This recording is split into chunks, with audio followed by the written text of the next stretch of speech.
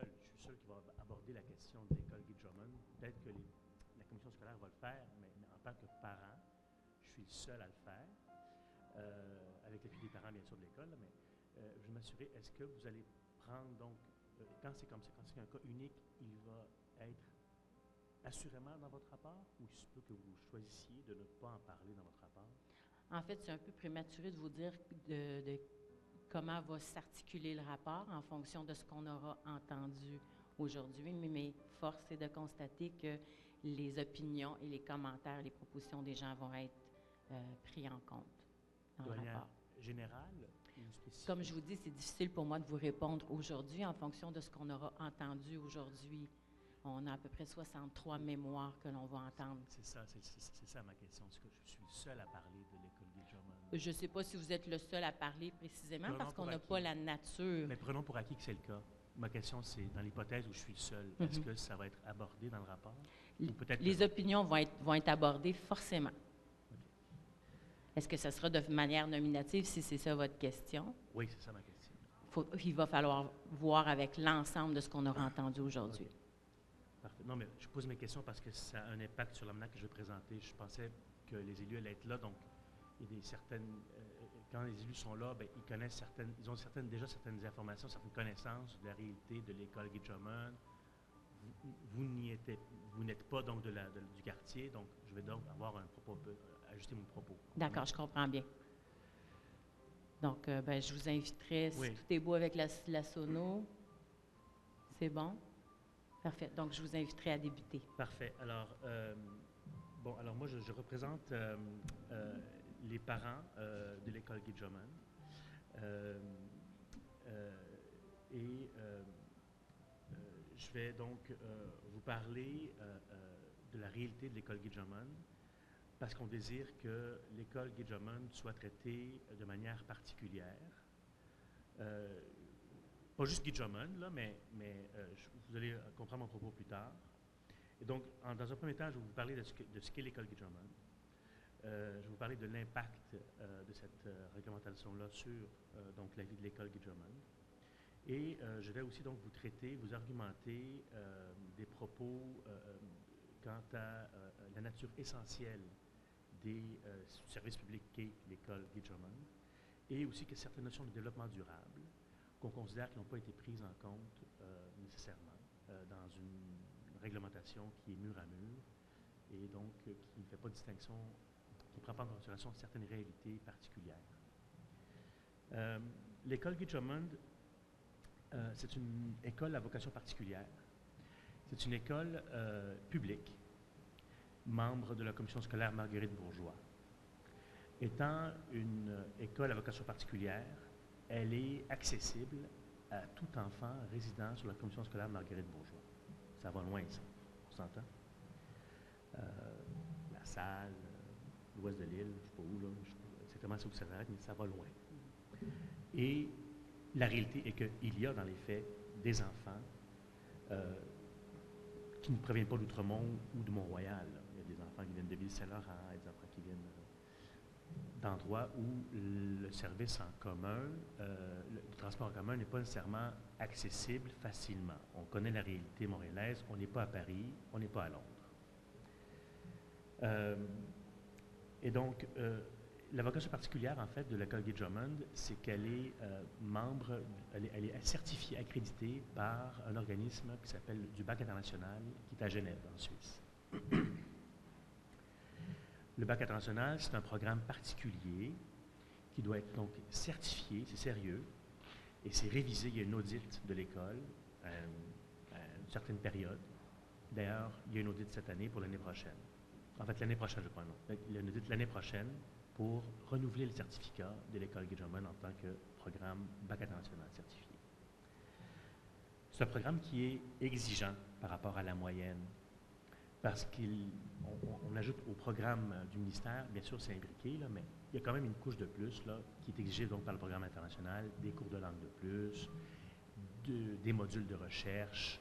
Ça fait en sorte que les enseignants et les enseignantes ont une charge de travail pas plus élevée que dans d'autres écoles de la même commission scolaire, comprenez. Ces enseignantes, ces enseignantes-là sont particulièrement dévouées. elles sont ici.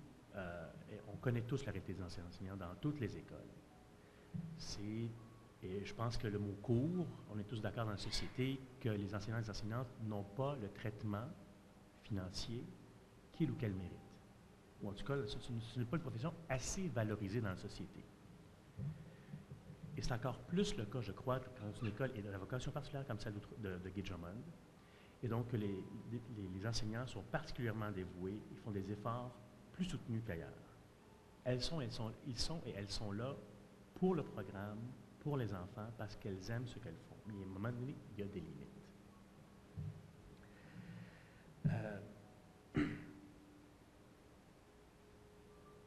Il y a aussi dans, euh, ce, programme-là une implication des parents qui est absolument nécessaire, étant donné la charge de travail plus grande aussi pour les enseignants et enseignantes. Ça va jusqu'à un écrit, une lettre que les parents doivent écrire et signer, un genre d'engagement solennel, en quelque sorte, un engagement moral quant à leur implication dans la, vie euh, scolaire, à la classe, dans la classe de leurs enfants, mais aussi euh, du bénévolat pour des sorties scolaires, du bénévolat pour la bibliothèque, pour... Euh, il n'y a, pas de bibliothécaire à l'école. C'est les parents, comme beaucoup d'écoles d'ailleurs, mais euh, donc il y a aussi la fondation, y a, on a un comité vert à l'école. On a une ruche, on a un jardin. Donc ce sont des parents et des professeurs qui s'occupent de ça. Et donc on a une ruche, on fait du miel carrément. Et donc ça Quant à moi, ça fait une preuve de la sensibilité environnementale de l'école. Là, je ne veux pas non plus, on n'est pas plus vert Aujourd'hui, là, on peut prendre pour acquis que des enseignants d'école, et les écoles primaires, partout à Montréal, c'est sensible au vert, il y a carrément de l'éco-anxiété. On est rendu là. Donc, là n'est pas mon propos. Mais je peux vous dire que c'est une école qui fait plus, oui. Euh, et donc, euh, les parents aussi proviennent donc de toutes l'île de Montréal presque, toute la commission scolaire Marguerite Bourgeois, les règles de stationnement, telles qu'elles sont dictées là, ne permettraient pas, par exemple, un parent d'arriver, de mettre son auto quelque part, puis de rentrer dans une classe ou partir pour une, euh, sortie scolaire ou, euh, ou, je ne sais quoi, avec les règlements qui sont là. Il n'y a pas moyen pour lui ou elle d'avoir un stationnement dans cette école-là. Le Guy Drummond, contrairement à, beaucoup d'écoles, n'a pas de stationnement. Je disais que vous êtes plus qu'à mi-parcours. OK. Euh, et donc, n'ayant pas de stationnement, les professeurs devront donc payer hein, une, vignette. Donc, on parle, si, ils ou elles y vont au mois, on parle de 1000 à 1200 dollars, dépendamment. Euh, à 1000, 1100. Euh, ce qui représente quand même une somme importante compte tenu de leurs revenus. Euh, c'est aussi l'école Guy Drummond, une école avec un service de, classe d'accueil pour les nouveaux arrivants. On connaît la réalité économique des nouveaux arrivants à Montréal, pour beaucoup pas, pas tous, mais une partie substantielle. Euh, ces parents-là sont invités à, participer aussi. Euh,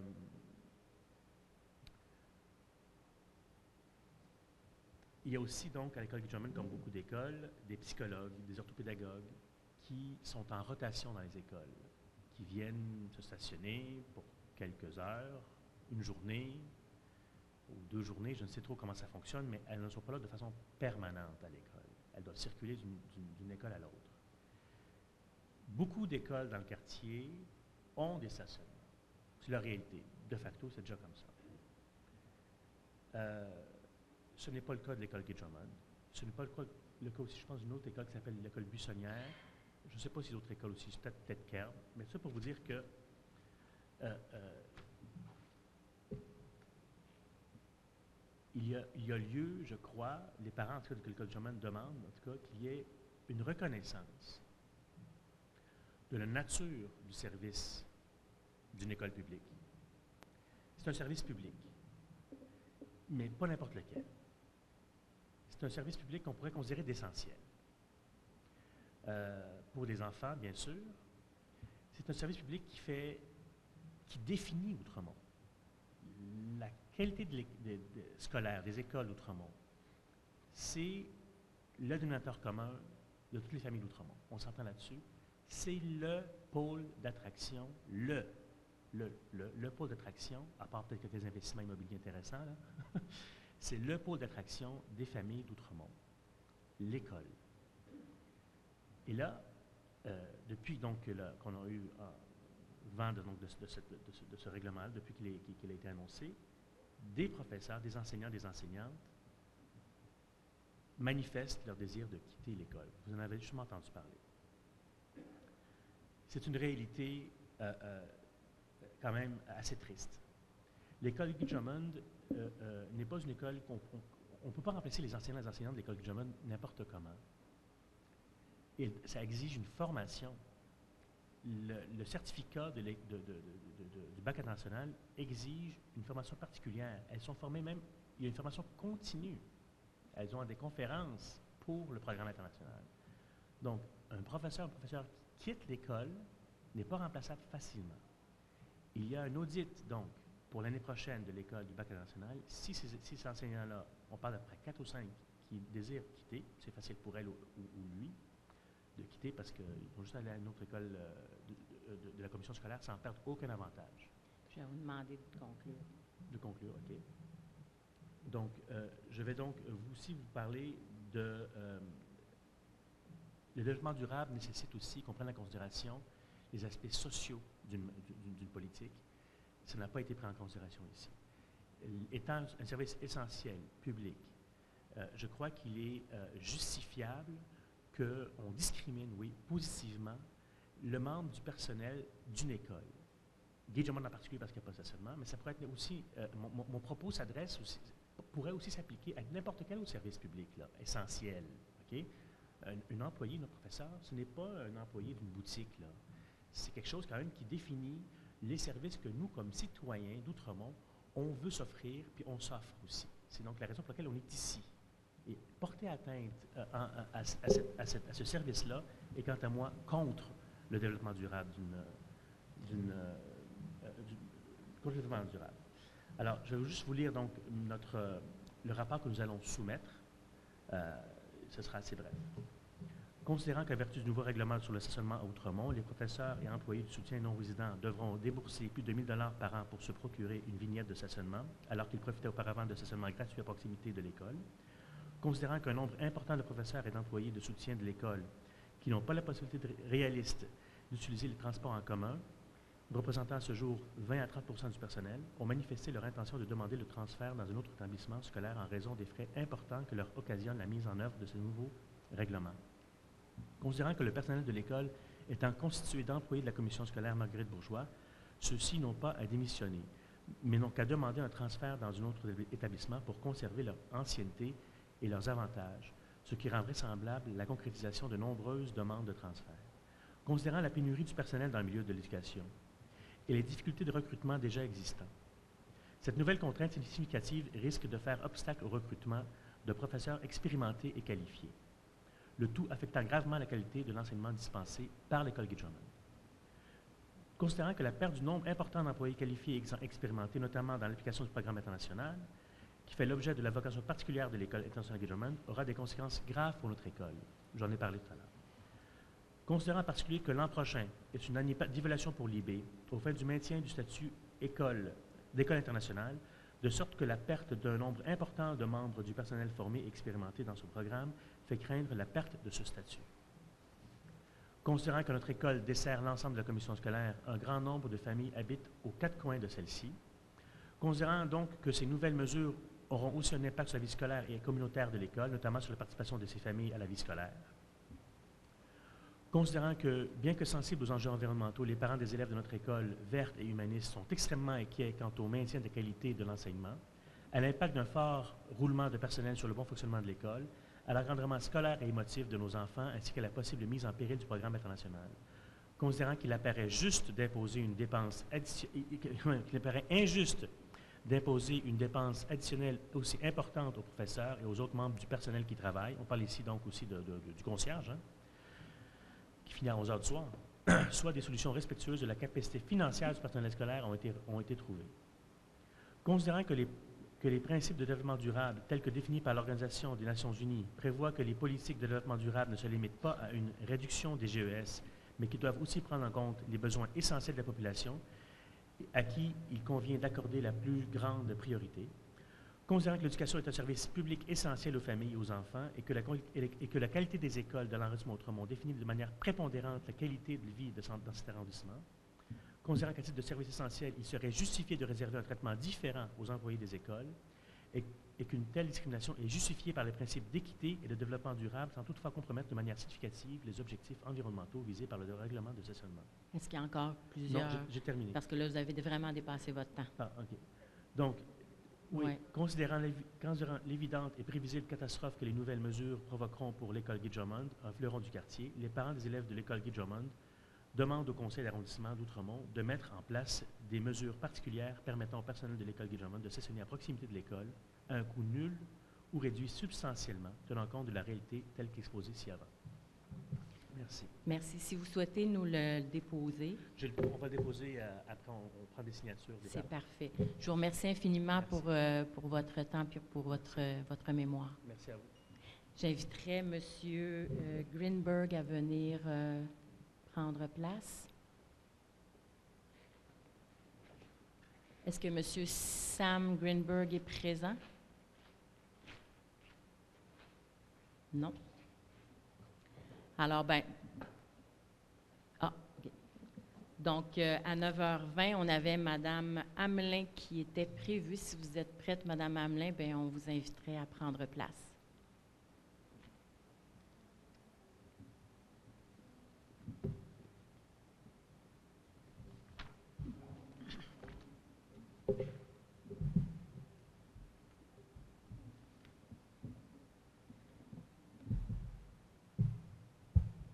Entendu euh, les consignes tout à l'heure. Je vais vous aviser à mi-parcours. Euh, puis, euh, peut-être que j'aurai des questions aussi de précision. On va prendre le temps. Parfait. Alors, n'ayant que dix minutes, je ne lirai pas aujourd'hui toutes les sections du mémoire. Entre autres, je vais sauter les données du profil sociodémographique du recensement 2016 de l'arrondissement Outremont je donnais ces informations-là parce que je base certaines de mes assertions sur ces données. Donc, pour qui est intéressé, peut le consulter et voir à ça. Alors, qui est-ce que je, qui est-ce la signataire de ce mémoire? Je suis une résidente d'Outremont depuis 1974. Et au fil de près de 50 ans maintenant, il y a eu toutes sortes de demandes sur l'épineuse question du stationnement sur rue. En 1974, déménageant ce qui était alors la ville d'Outremont, j'ai connu l'interdiction de stationner dans les avenues la nuit et pas plus de quatre heures le jour. J'ai connu les demandes de citoyennes et citoyens qui souhaitaient du stationnement sur rue en tout temps et sans limite. Quand le stationnement sur rue a été accordé, j'ai connu l'époque des demandes de vignettes, car le jour, il était difficile de stationner pas trop loin de chez soi, car les banlieusards venaient garer leur voiture gratuitement pour la journée avant d'aller prendre le bus pour se rendre au travail. La disponibilité des places a fait grossir le nombre d'autos dans nos rues, nos avenues, et avec le temps, les problèmes de circulation rapide dans, des artères et avenues résidentielles ont pris de l'ampleur et les demandes d'apaisement de la circulation pour la sécurité des piétons se sont multipliées. J'ai connu les demandes de résidents près des artères commerciales, Laurier, Bernard, Van Horn Park et de l'Université de Montréal, qui demandaient du stationnement réservé aux résidents pour leur tronçon d'avenue car les non-résidents du secteur prenaient toutes les places le jour comme le soir. En 2019, lorsque j'ai pris connaissance du nouveau plan de stationnement, il me semblait que l'histoire se répétait avec l'augmentation du nombre de places de stationnement partout dans l'arrondissement et la plus grande facilité pour tous, tant les détenteurs de vignettes zone 1 que pour les personnes venant des autres arrondissements ou d'ailleurs au Québec qui pouvaient se prévaloir du deux heures de stationnement sans frais pour garer leur voiture pas loin pour faire des courses sans le moindre égard pour les résidents ayant pignon sur rue. Voilà ce qui a motivé la rédaction de ce mémoire.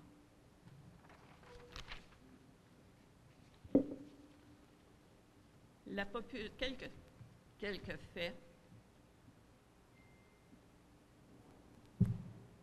La population d'Outremont est une population scolarisée qui aime s'appuyer sur des faits pour prendre des décisions. Elle est majoritairement au fait que nous vivons une urgence climatique et qu'il faut limiter les gaz à effet de serre. La population est consciente que des mesures sont nécessaires et que nos anciennes manières de faire vont être chamboulées. Selon moi, la vive contestation provient du fait que les énoncés du plan ne semblent pas s'appuyer sur des faits et des analyses assez poussées et que les mesures proposées n'ont pas été prises en tenant compte des avancées en la matière. Rapidement, les gens ont identifié que les solutions proposées vont créer plus de gaz à effet de serre en augmentant le nombre d'autos sur le territoire, en facilitant des, des déplacements en auto et de plus, sans égard pour ceux et celles qui habitent sur plusieurs tronçons de nos rues trois situations problématiques pour moi. Une seule zone pour l'arrondissement. Il y a des avantages et des inconvénients. Il est intéressant d'avoir voulu simplifier les règles de stationnement. Multefois, des automobilistes arrêtent les piétons et demandent si je me stationne là, je ne comprends pas, est-ce que je suis dans l'égalité ou pas? Alors, c'était un bon point de vouloir simplifier. Il y a des avantages à permettre du stationnement partout sur le territoire, mais les contribuables, les propriétaires et locataires de l'arrondissement ne veulent pas perdre certains de leurs avantages, comme de pouvoir garer leur auto pas trop loin de chez eux. Les grands perdants seront, entre autres, les gens qui habitent près des artères commerciales et de l'Université de Montréal ce sera difficile pour cette personne de trouver une place pour se garer pas trop loin. Les expériences du passé sont là pour nous rappeler la nécessité d'avoir des places réservées pour les résidents de ces tronçons. À Outremont, la proportion des moins de 14 ans et, les moins de 14 ans est la plus élevée de tous les arrondissements de Montréal.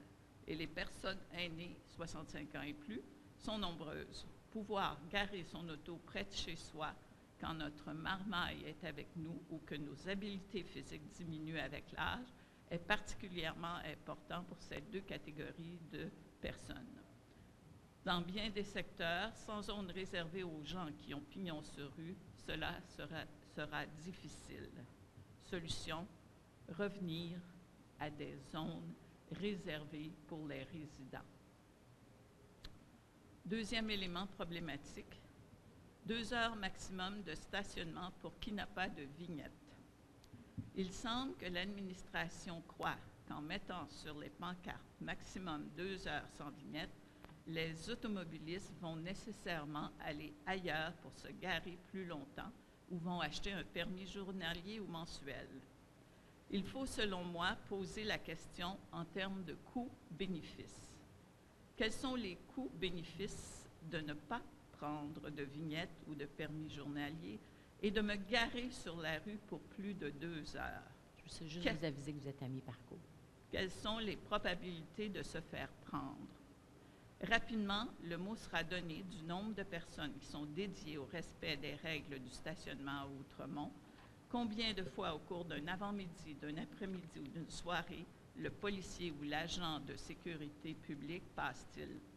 Quelle mesure est réellement en place pour s'assurer que je ne dépasse pas les deux heures permises? Ces voitures sont-elles équipées d'un lecteur de plaques numérologiques ou pas? Des rumeurs circulent déjà sur le manque de personnel ou d'équipement pour faire respecter la limite de deux heures. Si je garde ma voiture sur une place avec parcomètre, la surveillance est là mais sur nos avenues, est-elle réellement là? De plus, comme me demandait une voisine, comment l'arrondissement va-t-il me différencier? Moi, la sans-vignette, qui se stationne devant chez elle une journée où je fais des va-et-vient toute la journée. Comment la sécurité publique peut-elle tenir compte d'un comportement légal, stationnement pour moins de deux heures plusieurs fois dans la journée, versus celui de quelqu'un qui n'a pas de vignette et laisse sa voiture toute une journée sur une rue sans avoir obtenu un permis journalier.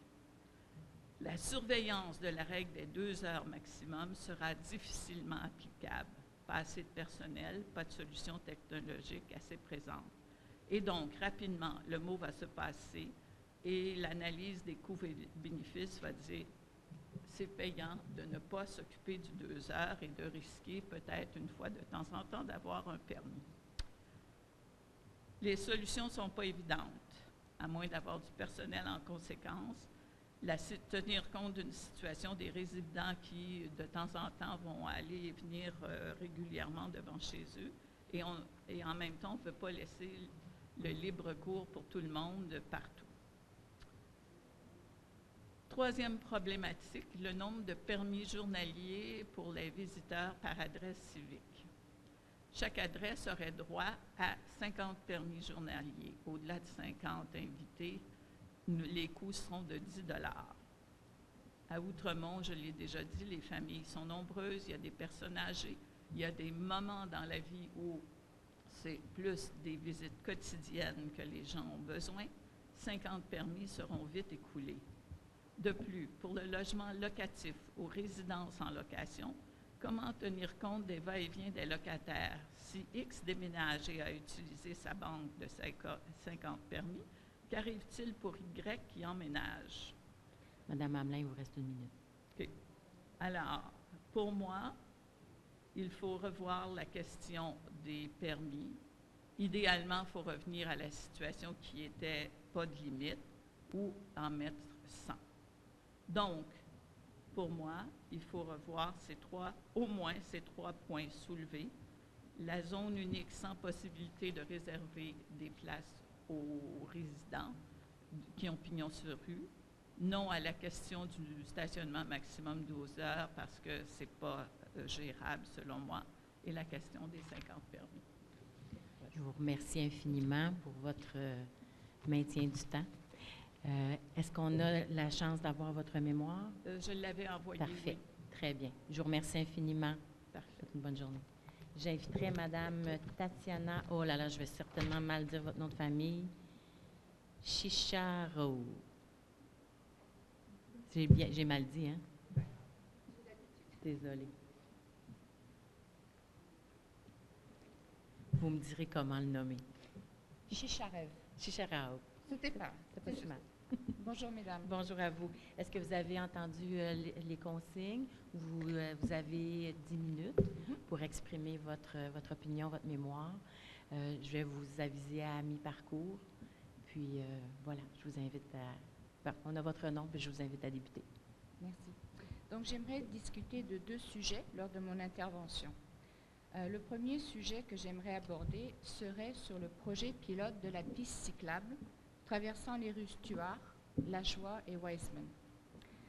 Au lancement de ce projet, l'arrondissement n'a pas émis d'intention de consulter les résidents de ces rues pour connaître leur opinion. Ils ont fait en septembre dernier un porte-à-porte après que le projet ait été voté. Ce projet a été fortement encouragé pour accommoder le nouveau campus de l'Université de Montréal et encourager le cyclisme auprès de la population universitaire. Néanmoins, dans un article du Devoir paru le 20 septembre 2019, le sondage qui a été fait auprès des étudiants et employés du nouveau pavillon a démontré que seulement 3% de ceux-ci utiliseraient le vélo comme moyen de transport. Aussi, les résidents de l'arrondissement se sont plaints du manque de transparence du nouveau conseil municipal, notamment dans ce dossier où aucun résultat des études n'ont été dévoilés, ni même les compagnies qui les ont faites, pour évaluer le potentiel et l'impact de l'implantation de pistes cyclables dans ces rues. Le point qui soulève à mes yeux le plus d'inquiétude est par rapport à la sécurité. D'abord, nous n'avons aucun chiffre, aucune étude qui a démontré ou non un impact sur l'intervention des pompiers depuis que le couloir des pompiers s'est vu changer, depuis l'aménagement des rues à sens unique pour un tronçon de moins de 500 mètres.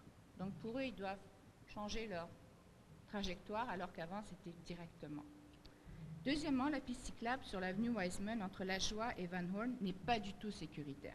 Il aurait fallu avoir la piste cyclable sur le côté droit, direction sud, seul, et le stationnement des voitures sur le gauche afin d'éviter toute collision, car il n'y a aucune entrée de garage sur la droite et aucune intersection. De plus, l'arrondissement a décidé de changer la direction de la rue Wiseman en la rendant en sens unique. Dangereux, car peu de véhicules respectent la nouvelle signalisation. Et ça, c'est quotidien, puisque j'habite sur la rue Wiseman et c'est même dangereux parce que le cycliste, une voiture et l'autre qui arrive.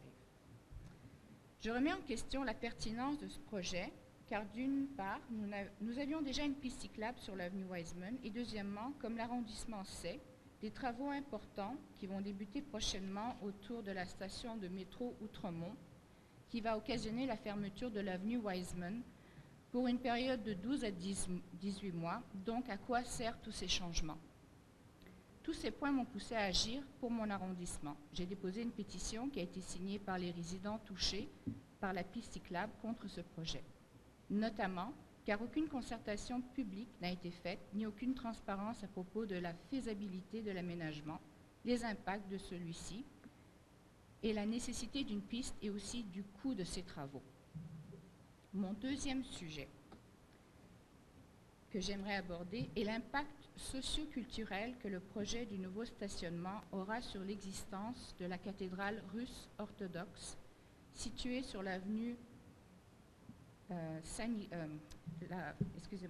l'orthodoxe Saint-Nicolas située sur la rue Saint-Joseph. Je suis moi-même de religion orthodoxe russe.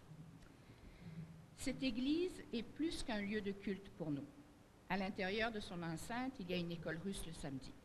C'est un lieu de rencontre, d'intégration sociale, où les nouveaux arrivants peuvent compter sur l'aide de leur père quant à la traduction de documents, la recherche d'emploi, de renouer avec leurs traditions, coutumes laissées au pays.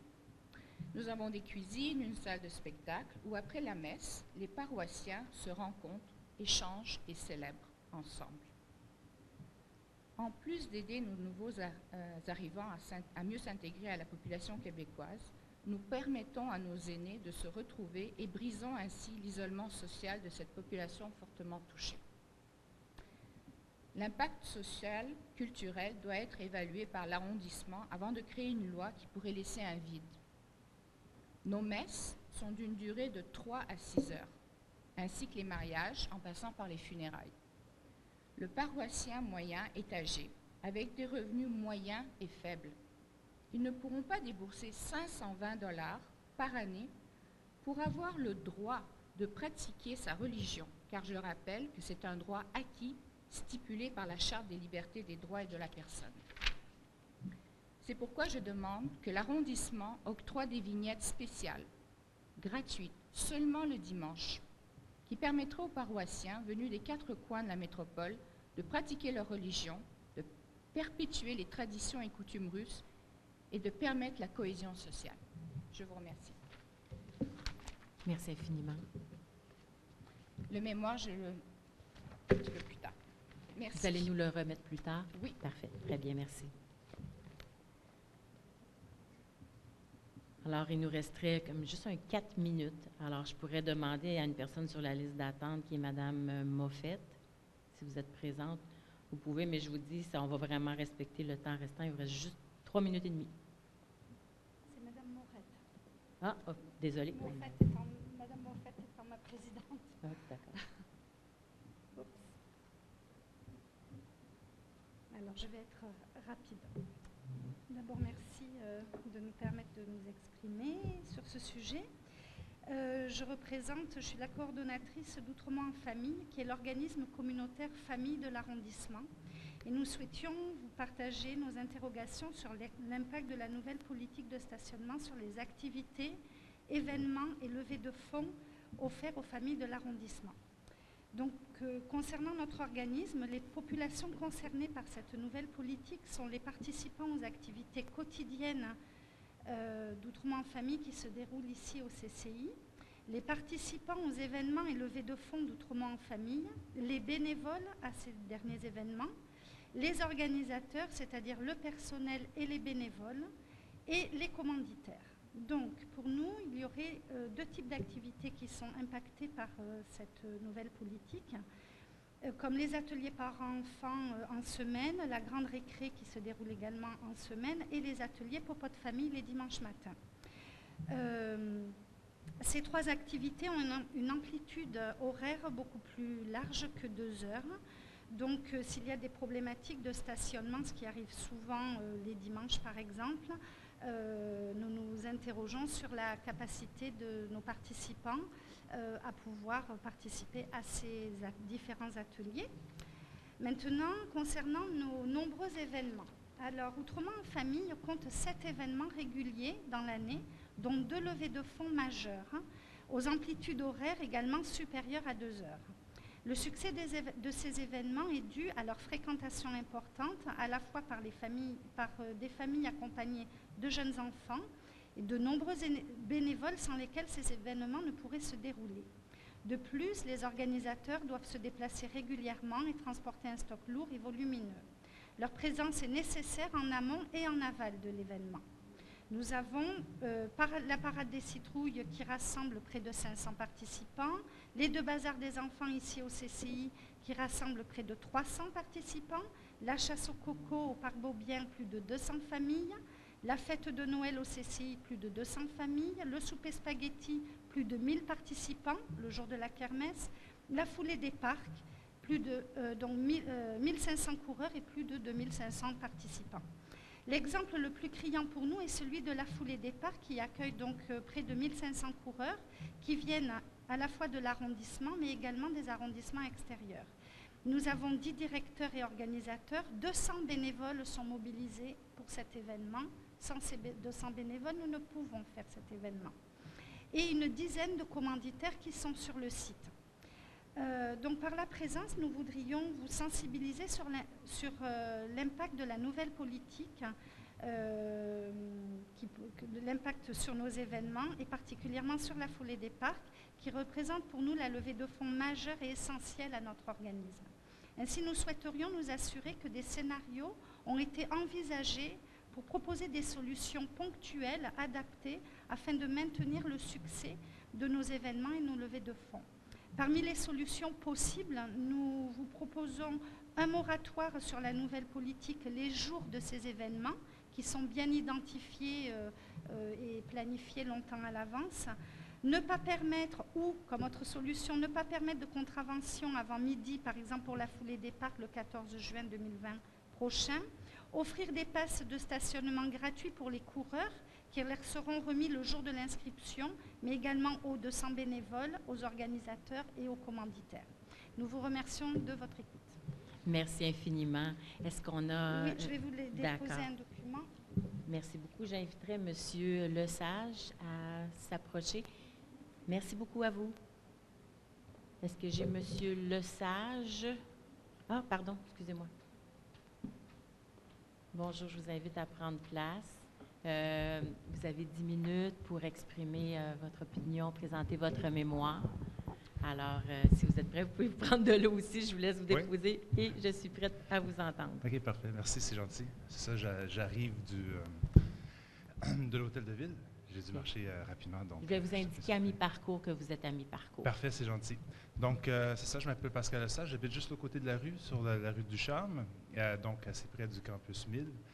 Euh, et puis je suis venu ici pour apporter mon soutien à l'initiative, donc aux changements qui, qui, ont cours en ce moment euh, à Outremont. essentiellement parce que je suis d'accord avec ces grands objectifs, c'est-à-dire avoir moins de véhicules dans les rues, avoir des changements dans l'aménagement des rues pour faciliter, par exemple, le transport en vélo, notamment, avoir des places de stationnement réservées dans le quartier pour les résidents, et puis euh, le réinvestissement dans la transition énergétique. Donc, je vais aborder chacun de ces quatre points-là ben, pour émettre mon opinion. Premièrement, sur le moins de véhicules dans les rues, euh, pour moi, ça, c'est le point le plus important. Premièrement, parce que euh, ben, je ne suis, pas un extrémiste anti-voiture, mais je suis quand même très sensibilisé sur les questions des changements climatiques. Et puis, je vois qu'on va avoir à faire collectivement certains changements qui vont parfois, oui, nous déranger dans nos habitudes, mais qui sont nécessaires pour réduire nos émissions de gaz à effet de serre. Et puis ici au Québec, ben, le, point numéro un, c'est vraiment le transport. Donc tout ce qui peut être fait pour réduire le transport en voiture est, selon moi, un pas dans la bonne direction. Et puis, à une plus petite échelle, donc si on arrête de passer au changement climatique global, mais à plus petite échelle, avoir moins de voitures dans les rues augmenterait sensiblement notre bien-être collectif. Je te crois, en tout cas le mien. Euh, je suis père de deux enfants et j'avoue que souvent dans les rues, on a un, peu peur pour eux. Il y a des, juste pour raconter quelques cas que j'ai vus, il y a des, voitures qui passent sur des trottoirs pour ne pas attendre derrière d'autres voitures qui veulent tourner juste ici au coin. Euh, des, euh, des voitures qui passent en toute rapidité pour éviter le trafic dans les ruelles. Euh, donc, côté sécurité pour mes enfants, ils ont 8 et 9 ans. Je commence à peine à laisser ma grande fille revenir, de, fait 10 ans maintenant, euh, de, revenir de l'école seule à cause de ce sentiment de sécurité. Bref, plus, euh, moins il y aura de voitures dans le quartier roulant, plus on va se sentir en sécurité c'est sûr que le lien entre les places de stationnement et les véhicules qui vont rouler dans nos rues n'est pas évident. Je pense que c'est une mesure qui va devoir être suivie de près, voir si vraiment ça a des effets escomptés. J'ai hâte de voir justement, euh, le maire nous a garanti que c'était quelque chose qu'elle allait suivre de façon assez, euh, serrée, voir comment ça influençait justement le, nombre de véhicules. Donc c'est quelque chose que, que j'ai hâte de voir si ça va porter fruit mais euh, on n'est pas la première place qui joue sur des places de stationnement pour réduire le nombre de voitures et ça porte des fruits ailleurs, donc euh, je, suis assez confiant. Donc ça, c'est le point 1, moins de véhicules dans les rues. Euh, point 2, changement de l'aménagement des rues. on est une famille qui essaie de faire le plus de, transport actif possible, donc en vélo, à la marche.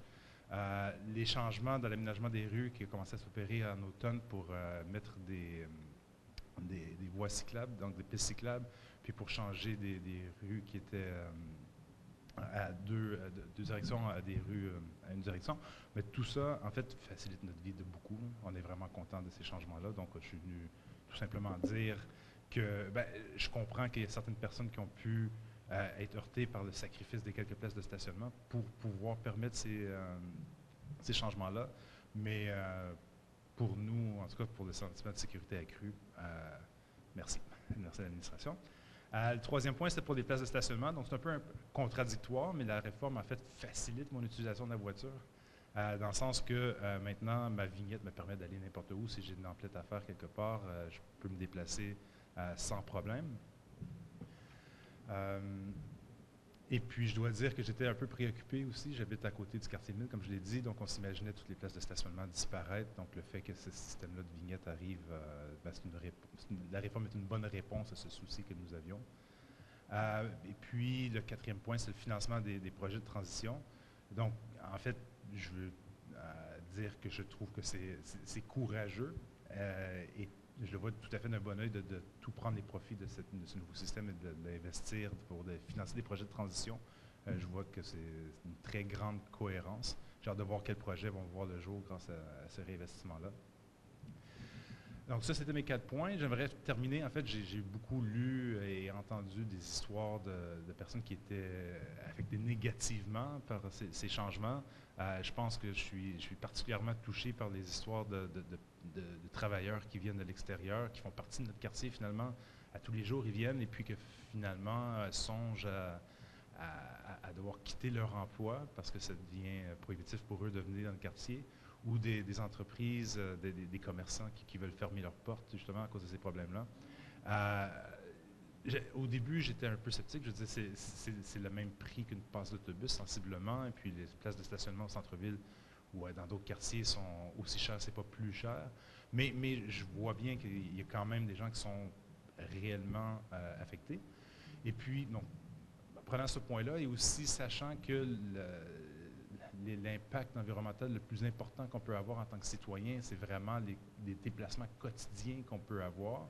Euh, je me suis demandé si euh, ça ne valait pas la peine d'envisager de réinvestir une partie du financement qui va être dégagé par ces, euh, vignettes-là pour attirer ces travailleurs-là qui font partie déjà de notre, du tissu d'Outremont pour les encourager à venir déménager ici, finalement, proche de leur lieu de travail. Donc, ça, serait un- ça aurait un impact tangible, mesurable sur les impacts environnementaux de ces personnes-là qu'on pourrait s'attribuer collectivement. Ce serait un pas dans la bonne direction. Ça faciliterait le côté social de, de- de- de la- des nouvelles mesures. Donc, bref, je lance ça comme ça. Ça serait une idée euh, sur laquelle on, on pourrait réfléchir. Mais, euh, bref, c'est tout ce que j'avais à dire. Je voulais juste apporter mon soutien euh, à changements. Bien, merci infiniment. C'est c'est noté, tout est noté. Pardon? Je dis, on a tout noté. Merci. Euh, J'ai juste deux minutes si, si Mme Tanguay veut s'exprimer. Mais deux minutes. Mme Tanguay, après mon demi- Oui. Ah, OK. Merci de m'entendre. Moi, je vais aller dans l'autre sens de la citoyenne qui est passée en deuxième, sur le sens unique sur la rue Wiseman. Je réside depuis 30 ans sur la rue Marsolet et j'ai vécu toute mon enfance et adolescence sur l'avenue Pratt. Mon intervention aujourd'hui portera sur l'instauration cet automne d'un sens unique nord-sud sur l'avenue Wiseman, entre Van et La Joie uniquement. Le restant de cette avenue, à partir de Lajoie jusqu'à Côte-Sainte-Catherine, étant à double sens. Cette portion de rue a changé pour permettre l'instauration d'une portion de pistes cyclables. Je reviendrai d'ailleurs à la fin sur ce propos. Depuis que j'habite sur Marcelet, j'ai pu constater que les pompiers, appelés en urgence pour le secteur nord d'Outremont, circulaient sur Wiseman depuis la rue Saint-Just jusqu'à Van de, le- de leur caserne jusqu'à Van. Ce trajet est le plus court et le plus direct, car l'autre rue qui coupe Saint-Just, où est la caserne, et la rue Outremont, qui à cet endroit-là est sens unique nord-sud, donc impraticable pour les pompiers. Depuis que les pompiers ne peuvent plus remonter rue Wiseman jusqu'à la rue Van peu importe le sens où ils vont, vers l'est ou vers l'ouest, ils doivent faire un détour et prendre obligatoirement une perpendiculaire à la rue Wiseman et en empruntant soit la rue Bernard ou la rue Lajoie. Ces trajets posent un enjeu de sécurité pour nos enfants. En effet, le problème avec ces divers détours est que les camions passent systématiquement devant une école ou une garderie. L'école Lajoie et la garderie Champagnard lorsqu'ils passent sur Outremont, l'école Guy Drummond lorsqu'ils passent sur Stuart, l'école Guy Drummond et le collège Stan- Stanislas lorsqu'ils passent sur Dollard, le collège, le grand collège Stanislas lorsqu'ils passent sur McEachran. J'ai d'ailleurs assisté à un incident qui aurait pu être potentiellement dangereux pour la sécurité de nos enfants. Le vendredi 13 septembre 2019, à la sortie des classes vers 15h10 à l'école Lajoie, j'allais y chercher ma petite fille. Comme c'est un vendredi, il y avait particulièrement beaucoup de parents, de voitures stationnées des deux côtés, de voitures stationnées en double. Des enfants couraient dans tous les sens, se bousculaient, enfourchaient leur vélo, leur planche à roulettes. Des passants attendaient l'autobus. Bref, tout était congestionné au cours, autour des grilles de l'école. Est-ce que vous avez une dernière chose à nommer? Voici, c'est à, ce minutes. c'est à ce moment précis que sont passés avec leurs sirènes les pompiers. Le feu de circulation dans l'axe nord-sud était rouge. Le bri- brigadier scolaire a tout, ju- tout juste eu le temps de bloquer et d'arrêter les jeunes qui traversaient à, ce moment précis. Les pompiers pressés par une urgence médicale ou incendie, ou quelques secondes, peuvent faire la dif- différence, venaient de tourner de Wiseman sur Bernard, puis sur Outremont, vers le nord. Ils ont pu, ils ont dû ralentir devant une école où les potentielles possibilités de frapper un enfant étaient nombreuses. Je vous remercie. Je vais être obligée de vous arrêter parce que vous avez dépassé. Merci. On vous avait, parce que vous étiez sur la liste d'attente, je veux juste vous dire, c'est pour ça que la personne est. Mais, mais on vous inviterait à déposer si vous souhaitez. Euh, J'inviterai M. Deschamps, s'il vous plaît.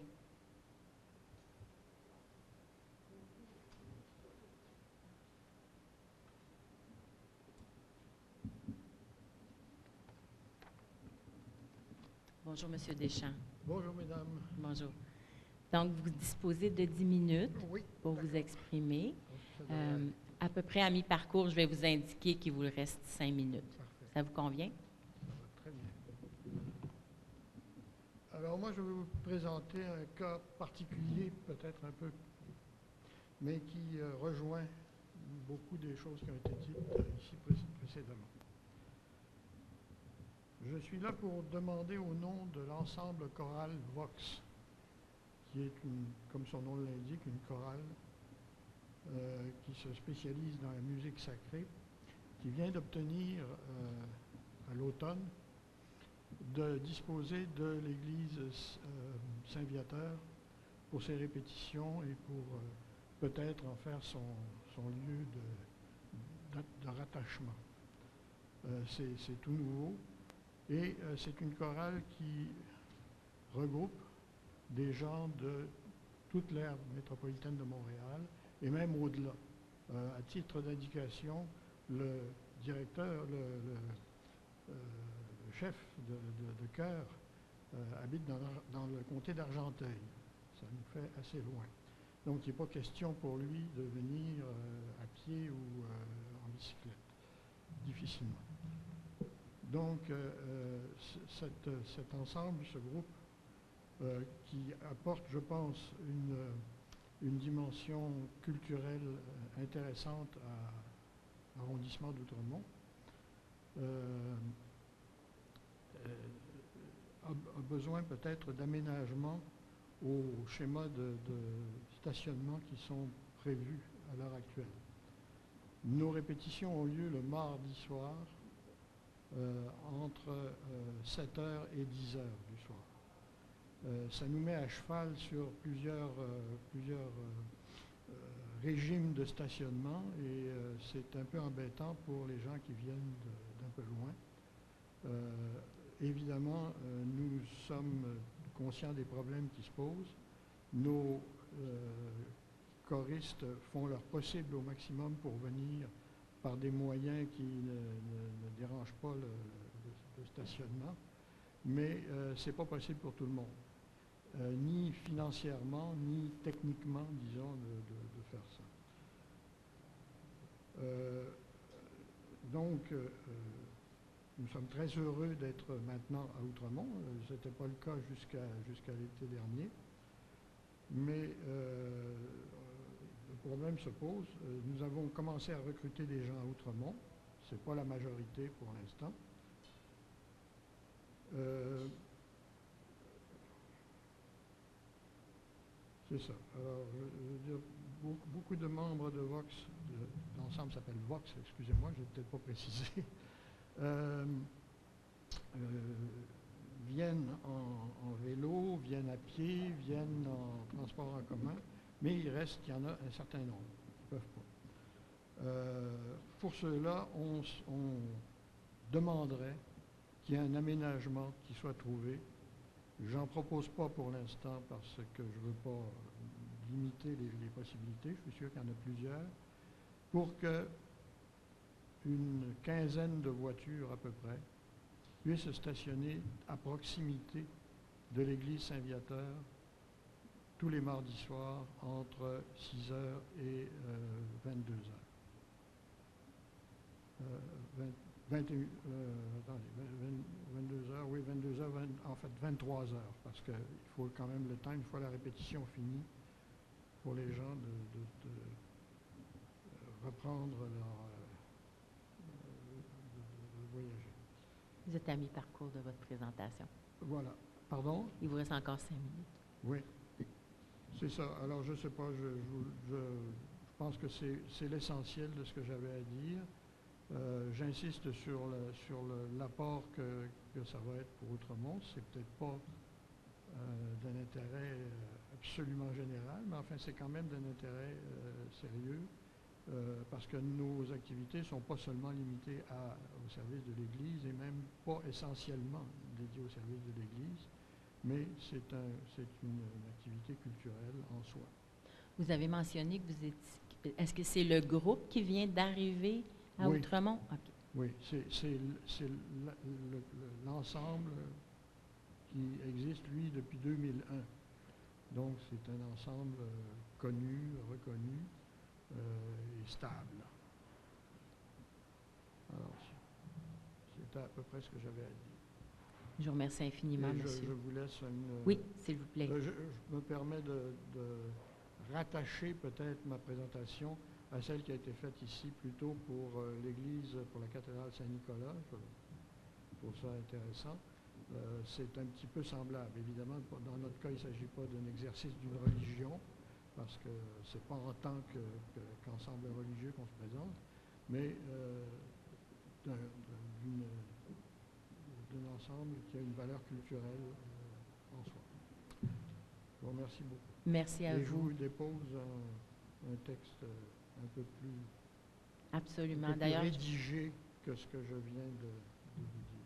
c'est parfait. Merci infiniment. D'ailleurs, j'en profite pour tous ceux qui auraient des textes écrits, n'hésitez pas à nous les, euh, à nous les transmettre parce que nous, on va refaire toute la lecture de ces documents. Est-ce que je peux vous le... Oui, oui. Oui, on, on en a plusieurs, là, il y en parce qu'il y a certains qui nous avaient été euh, donnés avant. Merci beaucoup. Madame Tanguay, vous voulez compléter, mais encore une fois, je suis désolée, vous avez juste deux minutes. C'est deux minutes. C'est encore moi après. C'est encore vous après? Oui, c'est ma fille. Ah, C'est ma fille. Flore Tanguay-Vert. En fait, juste pour expliquer aux gens, encore une fois, c'est juste qu'on vous avait demandé de vous inscrire à l'avance, puis il y a des gens qui sont venus ici spontanément et on les a mis sur la liste d'attente. Donc, quand on dispose d'un peu de, temps, on les invite à, à s'exprimer. Allez-y. Je reprends où j'étais. Les pompiers pressés par une urgence médicale ou incendie, où quelques secondes peuvent faire la différence, venaient de tourner sur Wiseman vers Bernard, puis vers l'est, puis sur Outremont vers le nord. Ils ont dû ralentir devant une école où les potentielles possibilités de frapper un enfant étaient nombreuses. Tout cela parce qu'ils ne pouvaient plus emprunter Wiseman tout le long pour faire une place à un mini tronçon de piste cyclable peu utilisé. Je suis passé hier, juste par curiosité, voir le nouveau campus des sciences. Il y avait un gros total de trois vélos stationnés. C'est sûr que nous sommes en période hivernale, cependant, je serais curieuse de savoir combien d'étudiants transigent, transitent quotidiennement entre les deux campus. Les cours de sciences et les laboratoires sont regroupés au même endroit. Donc, les étudiants en sciences vont surtout dans un seul pavillon. Nous sacrifions la sécurité de nos enfants au profit de quelques cyclistes étudiants à l'Université de Montréal. Avant le changement de sens de la rue Wiseman, les cyclistes empruntaient déjà ce tronçon dans les deux sens parce qu'au coin, au métro, il y a une station d'ancrage de Bixi, sans qu'il y ait de problème ou de danger. C'est une zone de 30 km/h.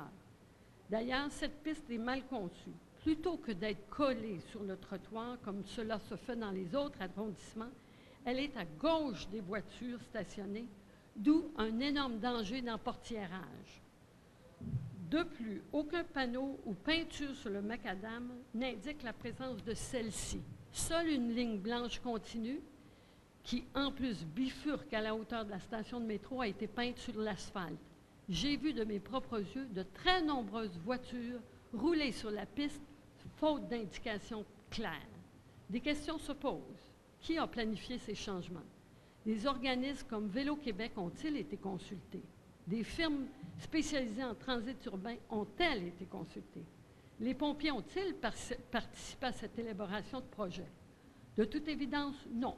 Monsieur le maire et mesdames les conseillères, retournez faire vos devoirs et de grâce, aidez-vous de personnes compétentes. Il y va de la sécurité de tous et surtout de nos enfants. Maintenant, je parle au nom de Flore Tanguay-Hébert, qui est la suivante. Elle n'est pas là, Flore? Non, elle a un petit bébé de deux mois et demi qui a eu un vaccin hier, puis finalement, il faisait de la fièvre. OK. Elle m'a demandé, moi, sa mère, de parler en son nom.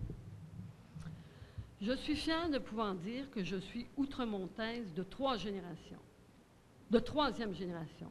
Outremont, j'y ai grandi, j'y suis allée à l'école et j'y ai travaillé pendant de nombreuses années comme surveillante d'installation. Malheureusement, j'ai dû récemment quitter l'arrondissement puisque les loyers n'y sont plus abordables pour une jeune famille et ce plan de stationnement va ajouter un, fardeau financier supplémentaire à des personnes qui, comme moi, n'ont pas le choix d'utiliser la voiture pour nos déplacements avec un bébé naissant. En hiver, où les températures atteignent des seuils carrément dangereux pour les poumons d'un nouveau-né, attendre un autobus dehors ou prendre un métro bondé où les gens bousculent plutôt que de laisser une place à une poussette, à une femme enceinte ou avec un porte-bébé n'est tout simplement pas une option. Si je ne veux pas me retrouver complètement isolée jusqu'au printemps, je dois malgré tout parfois utiliser mon automobile. C'est ce qui m'empêche de m'en débarrasser. Les coûts de ce nouveau plan de stationnement ont donc lourdement pesé dans notre décision de changer de domicile en décembre, puisque ceux-ci auraient grugé une bonne portion de mes prestations de RQAP, alors que nous subissons déjà une importante perte de revenus. Malgré notre déménagement, notre cercle social et familial demeure à Outremont et nous y avons des obligations. Je viens régulièrement tenir compagnie et cuisiner des repas pour ma grand-mère de 92 ans qui est en résidence à Outremont. Lors de mes visites, il m'arrive que ma fille s'endorme. J'attends alors qu'elle finisse sa sieste en discutant littérature pendant que la nourriture cuit. Depuis la mise en place du nouveau plan de stationnement, ces longs après-midi intergénérationnels sont chose du passé. Comme je ne peux pas laisser la petite, la petite seule avec son aïeul, je quitte au bout de deux heures. Parfois, j'ai même dû interrompre son sommeil. Pour une personne âgée déjà isolée, cette perte de visite hebdomadaire est triste et cela limite ses interactions, avec son arrière-petite-fille, ce qui me brise le cœur. Indépendamment des considérations financières que ce plan de stationnement soulève, il est un enjeu éthique et moral. Il est peu mis de l'avant dans les débats et je tiens à le souligner. Le nouveau plan de stationnement, loin de gérer les problèmes de circulation automobile, ne fait que pelleter le problème dans la cour du voisin. Ici, la cour étant l'ancienne cour de, cour est l'ancienne cour de triage et le voisin de la- de la- l'arrondissement est Parc Extension où j'y ai élu domicile. Pour éviter d'avoir à payer des vignettes, ce sont dans les rues au nord du nouveau campus de l'Université de Montréal que les étudiants, employés et professeurs circulent et stationnent. Pour financer un plan vert bancal dont les principales dépenses se sont faites par des pancartes neuves non recyclables et davantage de véhicules en circulation pour la remise des contraventions, M. le maire va donc renvoyer les émissions chez les autres. Ces autres, justement, ce sont des personnes parmi les plus pauvres et les plus vulnérables à Montréal, immigrantes pour la plupart, qui n'ont pas les moyens financiers et sociaux de s'organiser pour protester devant cette injustice. Trop occupés qu'ils sont à combattre une crise de logement dont ils sont les premières victimes et pour laquelle les élus de Projet Montréal sont trop occupés à sauver la planète pour s'y attarder. Les résidents de Parc Extension sont des personnes qui ont moins accès à des espaces verts et c'est à leur dépens qu'on va financer la plantation de quelques arbres dans le quartier voisin. Pour, donner, pour donner bonne conscience à une administration bien pensante, on va donc continuer, contribuer à un problème de santé publique grave ailleurs. Belle solidarité environnementale. N'est-ce pas justement l'hypocrisie dont cette administration accuse les opposants à ce plan? Ce n'est donc pas avec des vignettes que l'on réglera la crise en- environnementale mondiale, d'autant plus que ce sont les personnes les moins fortunées qui n'ont pas d'entrée de garage qui en paient le coût et font leur juste part, comme on ajoute de, et que l'on ajoute de surcroît des véhicules motorisés pour donner des contraventions, que les automobilistes choisissent simplement de stationner ailleurs, qu'aucune étude n'appuie les mesures adoptées, que l'on coupe dans l'arrondissement des arbres pour faire place à des bretelles de rue, et j'en passe. Instaurer des navettes gratuites, efficaces et accessibles, donner de réels incitatifs à la marche, le transport en commun et les projets environnementaux, pas quelques lignes de peinture sur une chaussée, combattre l'étalement urbain avec des paiements sur des ponts, réinvestissez dans les liens interurbains, Bref, assurez-vous d'offrir des alternatives à l'automobile avant de simplement imposer des mesu- mesures coercitives dont les impacts véritables sont simplement l'isolement, la taxation et l'atteinte à la santé de ceux et celles qui sont déjà les plus vulnérables. Est-ce qu'il me reste du temps? Oui, mais j'ai une question pour Oui. vous. La grand-mère de Flore, elle habite à quelle résidence? Outremont, et j'ai son mémoire, le manoir d'Outremont, sur Rockland. La mémoire de qui, là? Ma mère, donc la grand-mère, m'a fait un. Qui n'est pas inscrite. Non, mais elle s'est inscrite pour le déposer, puis on m'a autorisé à le lire. Ah bon? Je suis une personne de 92 ans, bientôt 93, habitant au manoir d'Outremont. Depuis trois ans, ayant vécu dans cet arrondissement pendant plus de trois ans. Je désire ici, à travers le récit de mon cas personnel, vous faire part des problèmes générés et subis par les personnes vivant en, en- en résidence suite à l'application du nouveau plan de stationnement en vigueur depuis le mois de février. Je suis la mère de cinq enfants, la grand-mère de 14 petits-enfants et l'arrière-grand-mère de 14 autres. Parmi mes propres enfants, il y en a un qui habite à Québec, un à Saint-Jérôme, et les trois autres qui vivent à Montréal sont ceux qui s'occupent de mon épicerie, de mes finances et de mon suivi médical. Parmi mes petits-enfants, qui ont pour la plupart de très jeunes enfants, certains vivent à Toronto, d'autres à Québec, East Angus, etc. Depuis trois ans, j'ai perdu mon permis de conduire et j'ai dû me défaire à mon plus grand regret de ma voiture. La perte de celle-ci m'a fait perdre beaucoup de mon autonomie. Je suis devenue, du jour au lendemain, dépendante des horaires et des disponibilités de mes propres enfants. Ce sentiment de dépendance est donc difficile à accepter, d'autant plus qu'ayant toujours été très autonome après la perte de mes deux maris, je n'aime pas avoir l'impression de déranger, de quêter de la- l'aide. Je suis également d'une génération qui n'accepte pas, ou du moins difficilement, d'être une source de dépenses. Peu importe leurs moyens ou leur situation financière, je rembourse toujours mes enfants ou mes petits-enfants lorsqu'ils dépensent pour moi. Le nouveau règlement limite à deux heures le stationnement autour du manoir. Au-delà de ces deux heures, il faut être muni de vignettes journalières au coût de 10 Chaque adresse a le droit à 50 vignettes gratuites annuellement. Vous comprendrez que je vais réserver ces dernières à mes enfants et petits-enfants qui viennent de l'extérieur de la ville. Il est utopique de penser que ma petite fille d'East Angus va venir me visiter avec son mari et ses trois jeunes enfants en autobus et en métro, puisque l'offre de transport en commun pour ce faire n'existe tout simplement pas. Hypothétiquement, si j'ai une moyenne d'un visiteur de l'extérieur par semaine, je n'ai même pas assez de vignettes pour couvrir les 52 semaines de l'année. Au-delà de ça, j'aurai à en assurer les frais, puisqu'il est hors de question que je fasse assumer des frais à mes visiteurs.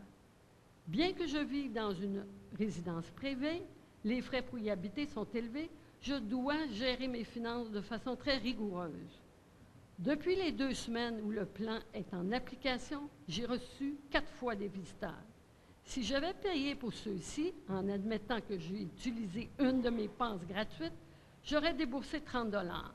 Multiplié par 26, soit deux semaines, j'arrive à un montant annuel de plus de 700 dollars.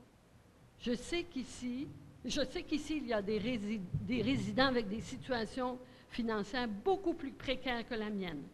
Figurez-vous ce que ça représente pour une personne âgée qui n'a pas d'autre source de revenus. Je n'ai jusqu'ici pas eu à débourser durant ces deux semaines. Mes visiteurs m'ont quitté avant les deux, que les deux heures n'arrivent à échéance. Madame Tanguy, je vais vous demander de conclure. Euh, et dans les deux cas, mes visiteurs sont sortis pour déplacer leur voiture. Bravo pour le plan vert. La part de son métier. Je reviendrai. J'ai pas fini. Je vais me réinscrire. Merci. De toute façon, vous allez pouvoir nous remettre Oui. les documents. D'accord. Euh, J'inviterai Madame Forget, s'il vous plaît. Donc, vous, vous avez entendu les consignes, Madame Forget, j'ai plus besoin de les répéter. Oui, vous allez voir, ce ne sera pas long. D'accord. Mais Prenez le temps, vous avez 10 minutes. Non, ça va, je suis prête.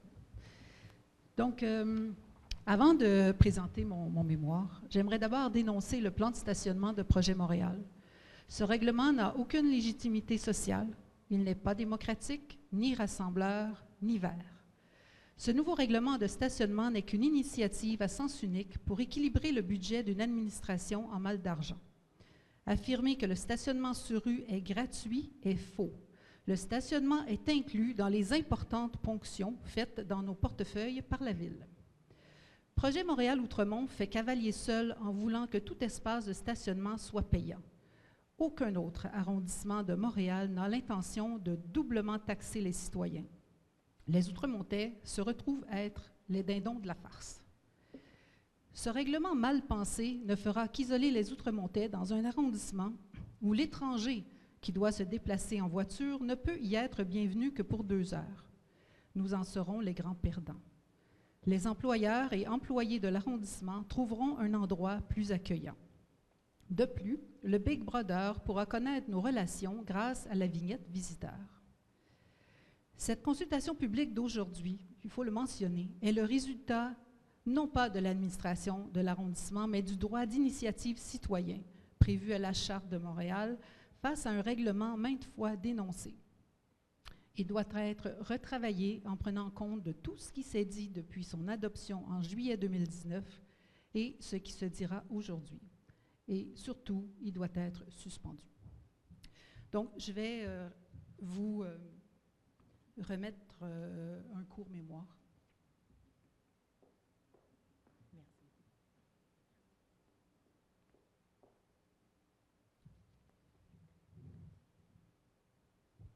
Bon, le mémoire est très court, il ne porte pas sur le plan de stationnement, il porte sur... Ce mémoire est, est co-signé par quatre personnes de différents secteurs de l'arrondissement, porte sur la grosseur des camions d'ordures dans un milieu bâti il y a près de 100 ans. Ce mémoire compte deux enjeux. D'abord, je demeure au tournant d'une ruelle étroite sur l'avenue Stuart. Ma clôture est constamment endommagée, malgré la présence d'un bolard de béton placé sur notre terrain afin de la protéger. De plus, il y a quelques années, un imposant camion de collecte d'ordures a accroché un câble d'acier relié au poteau d'Hydro-Québec, relié à nos fils électriques à la maison. Tout a été arraché. Il y a des photos à l'appui. L'école Guy voisine de ce tournant de ruelle, a subi des dommages importants à la clôture de la cour de récréation jusqu'à ce que soit construit, sur leur terrain, une imposante protection bien plus importante que ce qui aurait été requis pour une si petite ruelle. Photo à l'appui. Autre que ces camions d'ordures, les camions qui circulent dans cette ruelle sont beaucoup plus petits.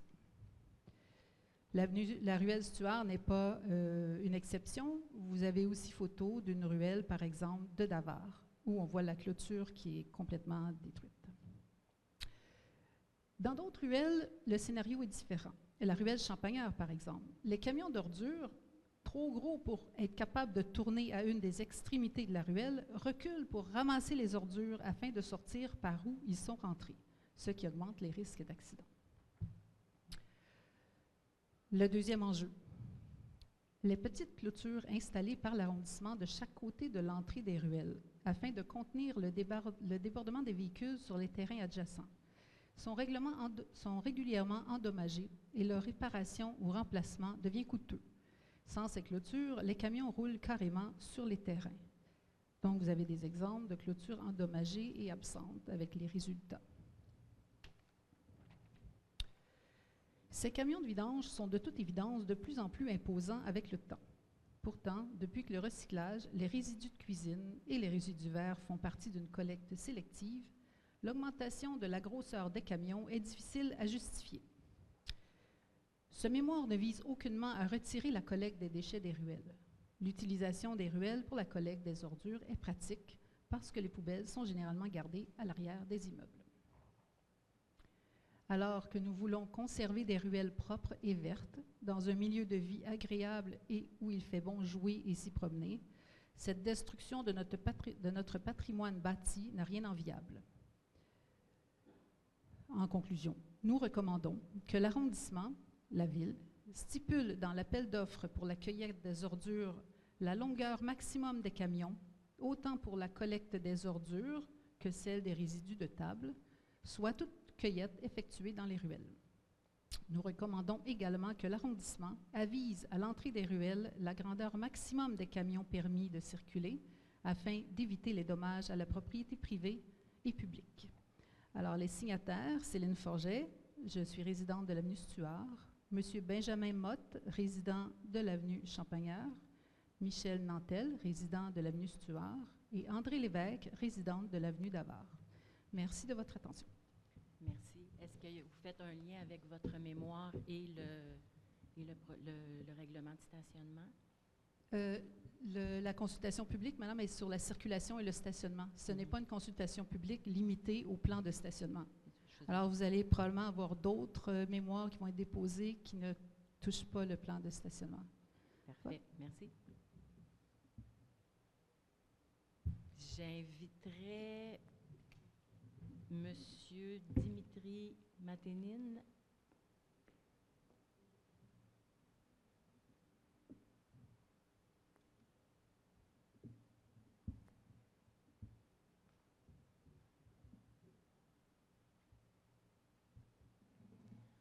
Bonjour. Bonjour.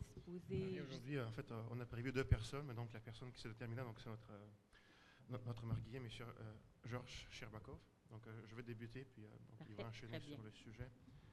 Euh, donc, euh, je suis là pour soumettre un mémoire. En fait, il a, dé- il a- il a déjà été soumis électroniquement.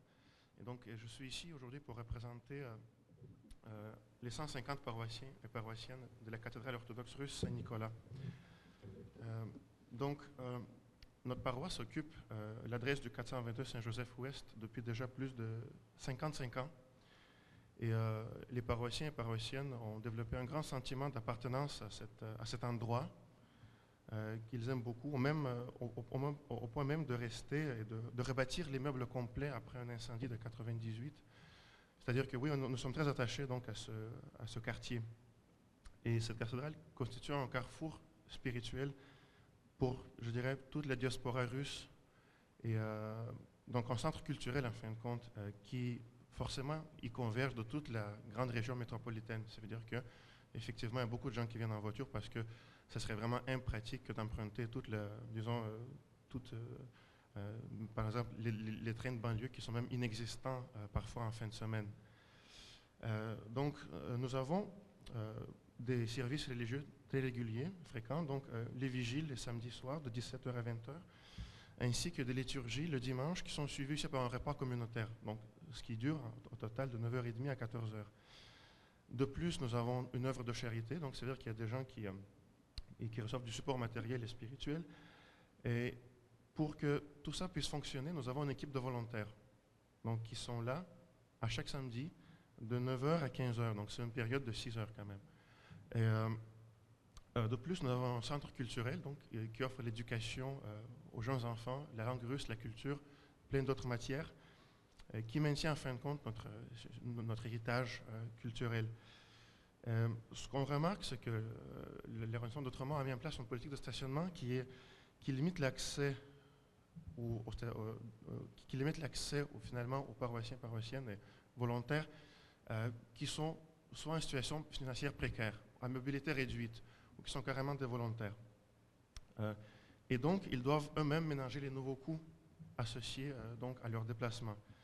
Euh, ce, qui, aggrave la situation aussi, c'est le fait que l'offre du stationnement, pardon, l'offre du transport en commun est grandement réduite en fin de semaine. Donc, c'est vraiment un double fardeau parce que déjà, les options sont, sont- sont plus limitées en fin de semaine, surtout si on est, on est à l'extérieur de l'île. Et finalement, si je, fais un retour sur, sur le côté environnemental, ben, les paroissiens font, ils font déjà du, du covoiturage. Il n'y a presque personne qui se déplace en solo. C'est-à-dire qu'en quelque part, on fait déjà notre part. Et donc, euh, surtout, il y a déjà un monsieur qui a déjà mentionné qu'on veut attirer les, les- les- les, euh, travailleurs. Je pense que les volontaires, c'est encore plus important parce qu'ils ils viennent, ils viennent là, ils n'ont pas de, fin de compte, ils n'ont qu'une compensation. Et donc, ils seront vraiment en situation désavantageuse, dans le sens qu'ils veulent aider, mais là, ils sont, ils sont, euh, ils sont limités dans leur, désir d'aider la paroisse à laquelle ils sont attachés. Donc, ce qu'on propose pour remédier à ça, c'est de prolonger la gratuité du stationnement dans les rues avoisinantes euh, de, la- paroisse.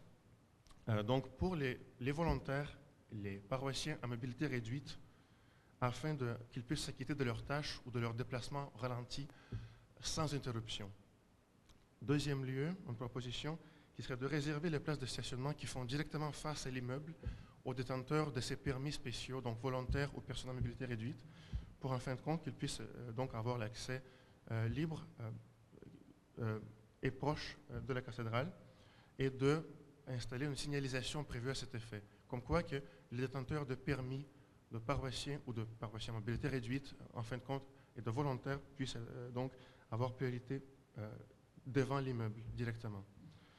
Ensuite, ce qu'on propose, c'est de prolonger la gratuité générale du stationnement sur les rues adjacentes à la cathédrale le samedi et dimanche pour une durée de 4h30 pour ceux qui, euh, pour ceux qui viennent à la messe, pour qu'ils puissent y stationner sans interruption.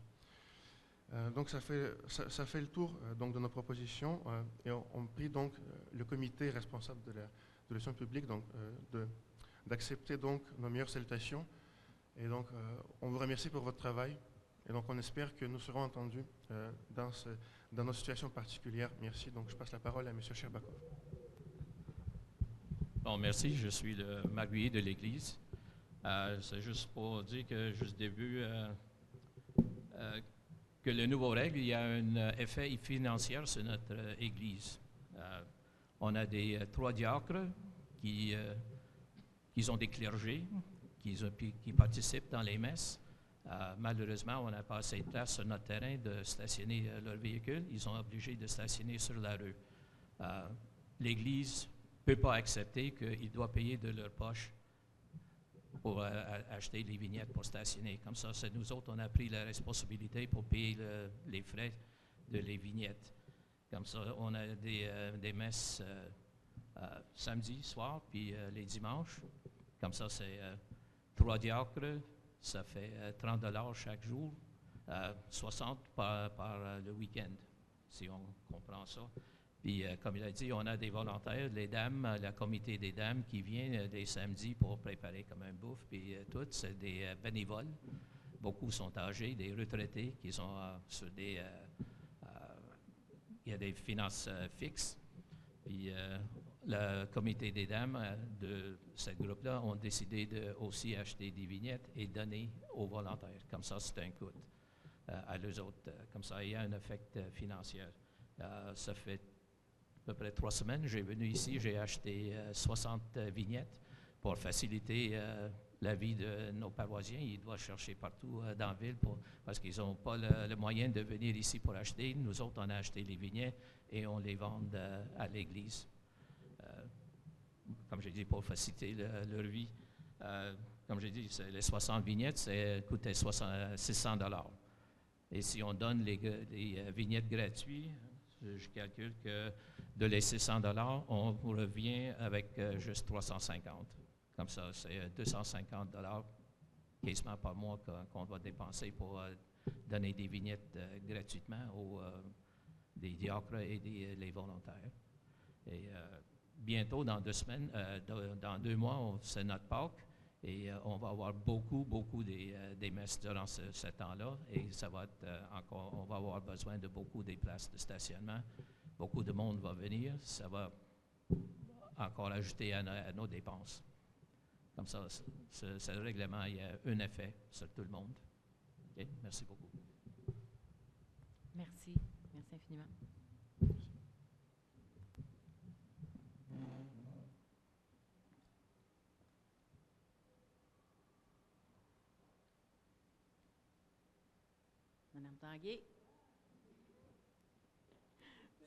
Je suis désolée, vous êtes toujours à coup de deux minutes. Parfait. Je vous finis mon petit laïus. Euh, je retrouve ma mère là-dedans. Bon.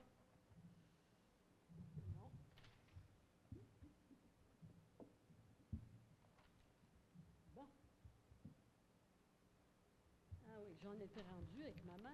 Mon médecin de famille vient faire ses examens à domicile à ma résidence et afin de maximiser ses déplacements, elle procède à plusieurs examens à la fois, ce qui fait en sorte que ses visites sont longues. Que va-t-il advenir de ce service maintenant qu'elle devra interrompre son, travail pour aller déplacer son véhicule en milieu de consultation? Grâce à, votre plan, Monsieur le maire, je vais maintenant devoir payer en double lorsque j'aurai un problème de santé parce que je devrais assumer le coût du déplacement de ma médecin et celui de mes enfants qui m'accompagnent toujours lors de ces visites. J'y songerai donc bien avant de me faire ausculter lorsque je me sentirai mal. Avant de terminer, je tiens à souligner le manque euh, d'informations transmises aux résidents du manoir Outremont par rapport aux modalités de ce plan. Nous sommes dans le néant le plus total. Il aurait fallu procéder à des séances d'information, d'autant plus que nous sommes très nombreux, nombreuses à ne pas utiliser d'ordinateur ou Internet. Où sont nos vignettes? Allons-nous en avoir chacune 50? Allons-nous recevoir notre code d'accès unique? Nous ne l'avons pas reçu. Et comment allons-nous faire pour enregistrer nos visiteurs n'ayant pas d'appareil ou de connexion pour le faire en ligne? Comment se fait-il que ce plan soit appliqué avant même que les étapes préalables de base, le moindre respect et considération pour vos aînés n'aient été complétés? Ce plan, pour ce qui touche les personnes âgées, va contribuer à les isoler davantage. Il ne va rien changer au niveau de l'utilisation de l'automobile par eux-mêmes, puisqu'ils n'en ont souvent pas, ou par leurs proches. Il ne fait que les enquiquiner. N'oubliez pas que souvent, ce sont nos proches qui nous, qui nous approvisionnent, nous fournissent nos services. Ils nous permettent de vivre de manière semi-autonome ou autonome et retardent notre institutionnal- institutionnalisation en CHSLD. Nous sommes dépendants des nôtres. Arrêtez de leur mettre des bâtons dans les roues, nous en avons grandement besoin. D'autant plus, comme le dit si bien notre ministre Marguerite Blais, il faut briser l'isolement de nos aînés. Merci de votre écoute. Moi, je dois souligner que j'ai rencontré M. Perrault, qui est le gestionnaire, en, en fin septembre, le gestionnaire du manoir Outremont. Il m'avait dit, ne vous inquiétez pas, j'ai parlé à M. le maire, nous allons tout faire pour que ça soit simple pour nos aînés. Or, pour avoir les vignettes journalières, s'ils n'ont pas l'ordinateur, il faut qu'ils se déplacent soit à la bibliothèque, soit ici. Or, les personnes âgées sont souvent justement pas capables de se déplacer. Ça leur cause vraiment un préjudice. Merci. Merci infiniment. Je vous inviterai à nous, si vous le souhaitez, oui, on va les, on va les prendre, s'il vous plaît. Merci. Euh, J'inviterai Madame Roche, s'il vous plaît. Euh, je ne sais pas si vous avez entendu les consignes, vous avez droit à 10 minutes. Prenez place, prenez place. Je vais être brève. Non, non, mais vous avez votre 10 minutes, il n'y a pas de souci. À mi-parcours. ai pas besoin. Je vais- C'est la quatrième fois que je me déplace, alors euh, mon propos est certainement connu.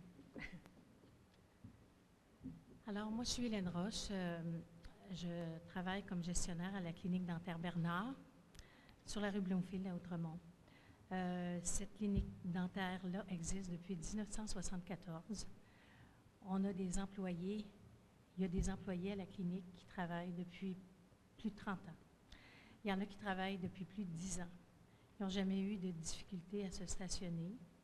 Euh, on n'est pas une grosse clinique, on a une dizaine d'employés. Et euh, quand les employés ont eu l'information sur la nouvelle réglementation du stationnement, euh, ils sont très inquiets parce que, bon, un, on, pour eux, euh, ils, ne veulent pas payer pour aller travailler, ça c'est clair, pour stationner. Euh, dans le domaine euh, de la santé, il y a beaucoup de pénurie de personnel. Alors, eux autres, ils savent très bien que s'ils doivent débourser de l'argent pour venir stationner, pour travailler, ils vont aller ailleurs. Il y a juste un, un exemple que je veux citer. On a une de nos employées qui est en congé de maternité, une de nos hygiénistes, et on doit la remplacer, évidemment. C'est très difficile de trouver des gens pour la remplacer, à cause, évidemment, de la pénurie de personnel. Alors, quand on a des gens qu'on appelle, la première question qu'ils nous posent, est-ce qu'il y a du stationnement? Qu'est-ce qu'on leur répond? On leur dit, il y a des parcomètres euh, il y a des vignettes, mais encore là, c'est des gens qui travaillent à la semaine. Si on veut qu'on ait du remplacement pour une durée d'un congé de maternité, comprenez-vous? Alors, euh, les employés sont outrés. Euh, je, vous dirais qu'il y a à peu près sur euh, 10 employés, il y en a au moins 4 qui nous ont dit que s'ils devaient débourser le stationnement, qu'ils ne pourraient pas rester. On a des employés qui habitent parce que ce sont des employés qui sont spécialisés. On a des employés qui habitent sur la couronne nord, entre autres près de Saint-Eustache. On a des employés qui habitent complètement dans l'est de l'île, où le transport collectif est extrêmement difficile pour venir ici.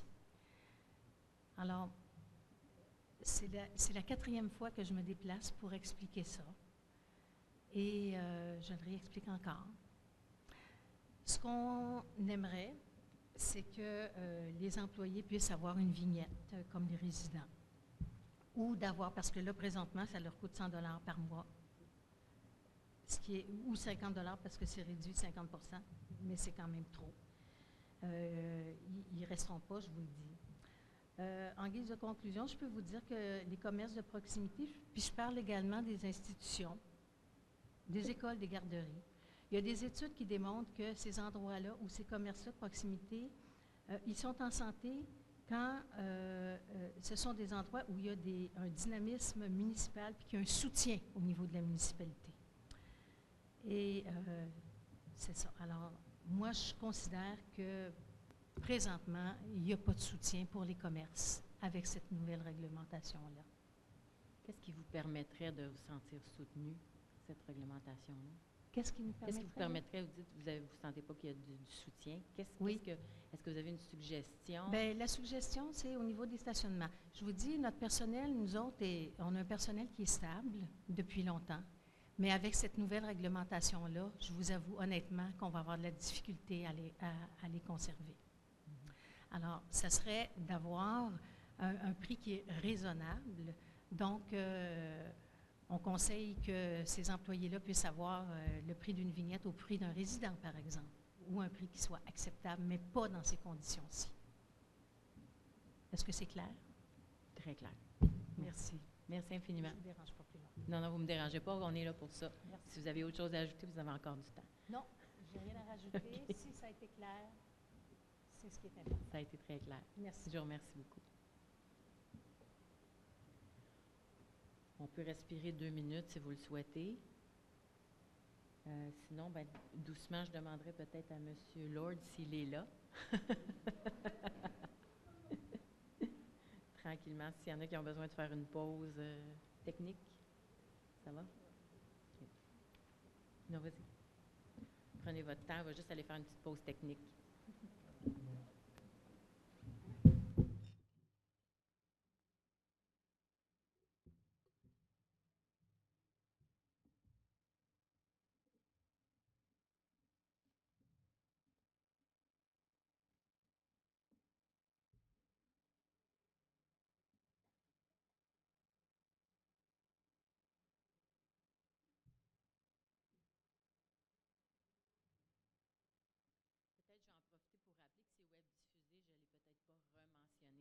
Souhaitez pas que être enregistré. Euh,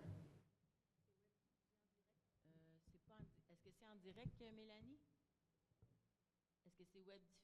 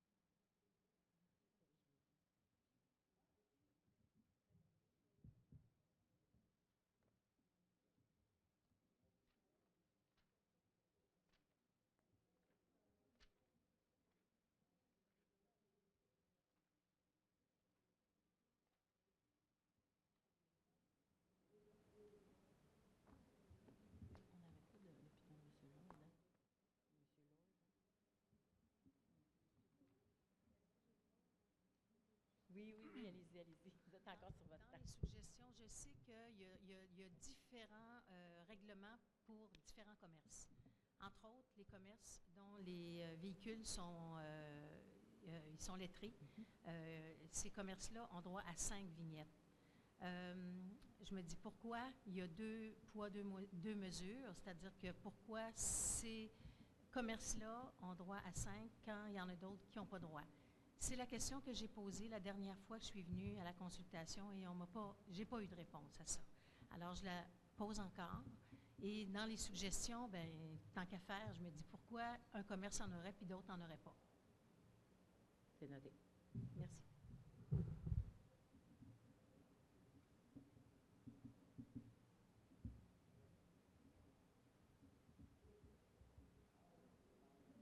La pause technique, c'est bon? Bonjour, Monsieur Lord. Euh, Bonjour. Bonjour, oui. Euh, bon, ça, mon nom est Martin Laure. J'ai- Je, suis résident de Outremont depuis plus de 30 ans, bon, 20 ans sur la rue de l'Épée. Euh, J'ai trois fils. Euh, je me suis impliqué au niveau bénévole depuis pendant 14 ans.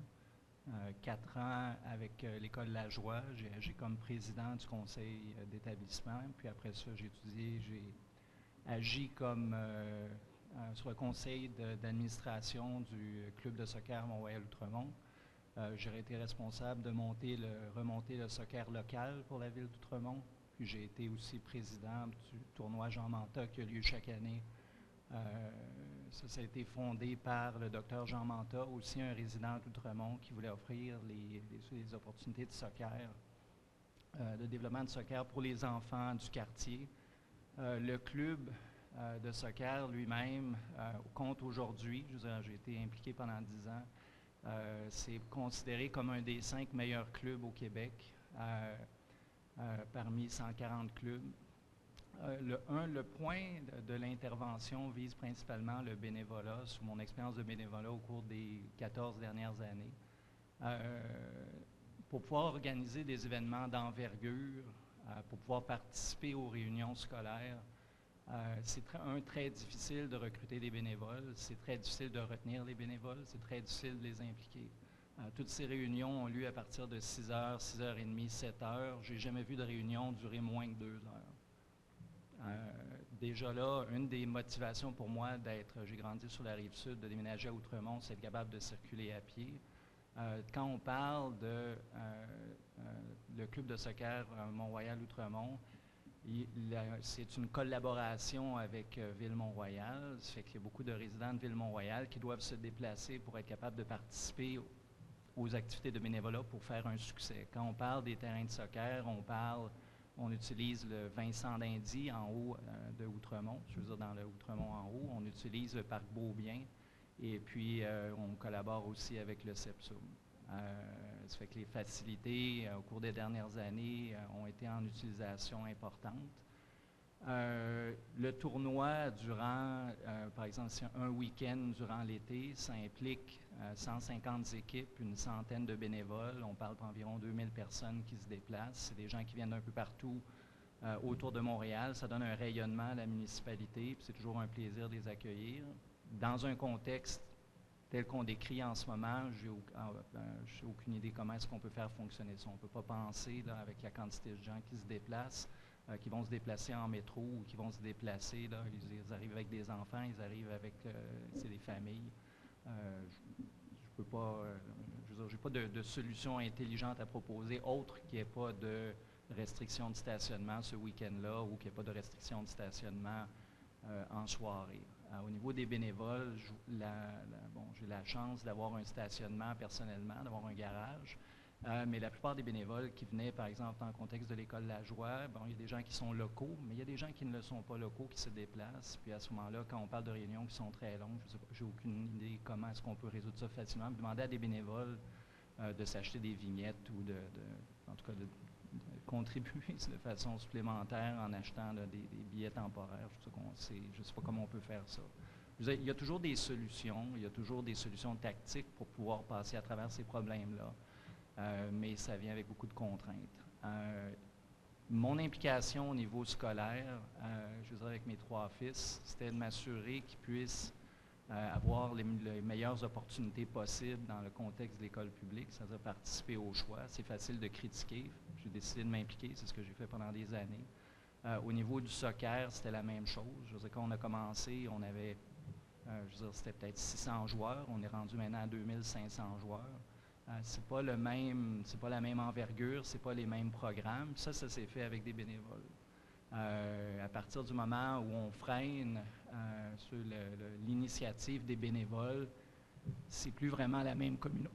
Pour moi, c'est plus la même communauté. Puis les bénévoles, ça se fait pas de jour, ça se fait de soir. Je vois pas c'est quoi les, ça se fait de soir. Puis avec les enfants, euh, que ce soit les pratiques ou lorsqu'on organise des matchs. Les matchs, si on fait des programmes compétitifs, j'imagine que des gens du hockey sont venus ou d'autres euh, associations compétitives on ne compétitionne pas uniquement avec des gens qui sont locaux.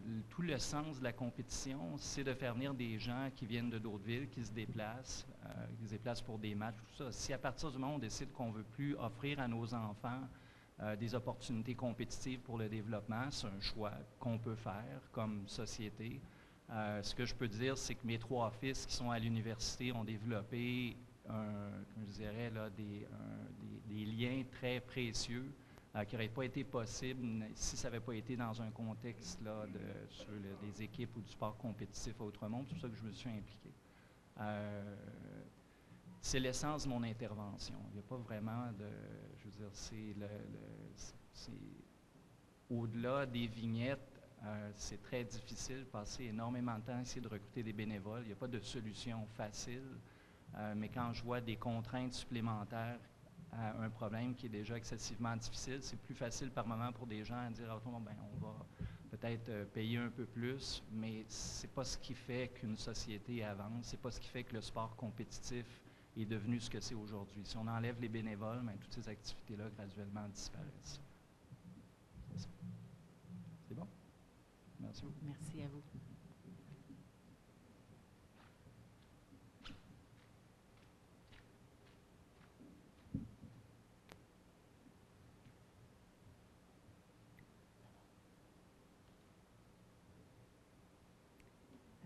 Si Madame Marie-Lise Lapierre est présente, je l'inviterai à s'avancer. Donc, euh, vous disposez de 10 minutes. Parfait. Je suis en train de réaliser que les verres n'ont pas été changés. Bon. bon.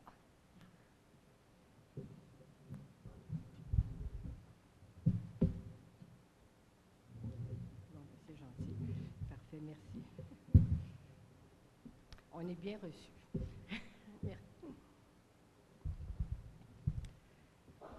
Alors bonjour, j'habite euh, sur la rue Lajoie, en face de l'école Lajoie. J'habite donc dans le secteur des triplex où les places de stationnement disponibles sont euh, réduites. Et aujourd'hui, mon point de vue est soutenu par neuf autres de mes voisins.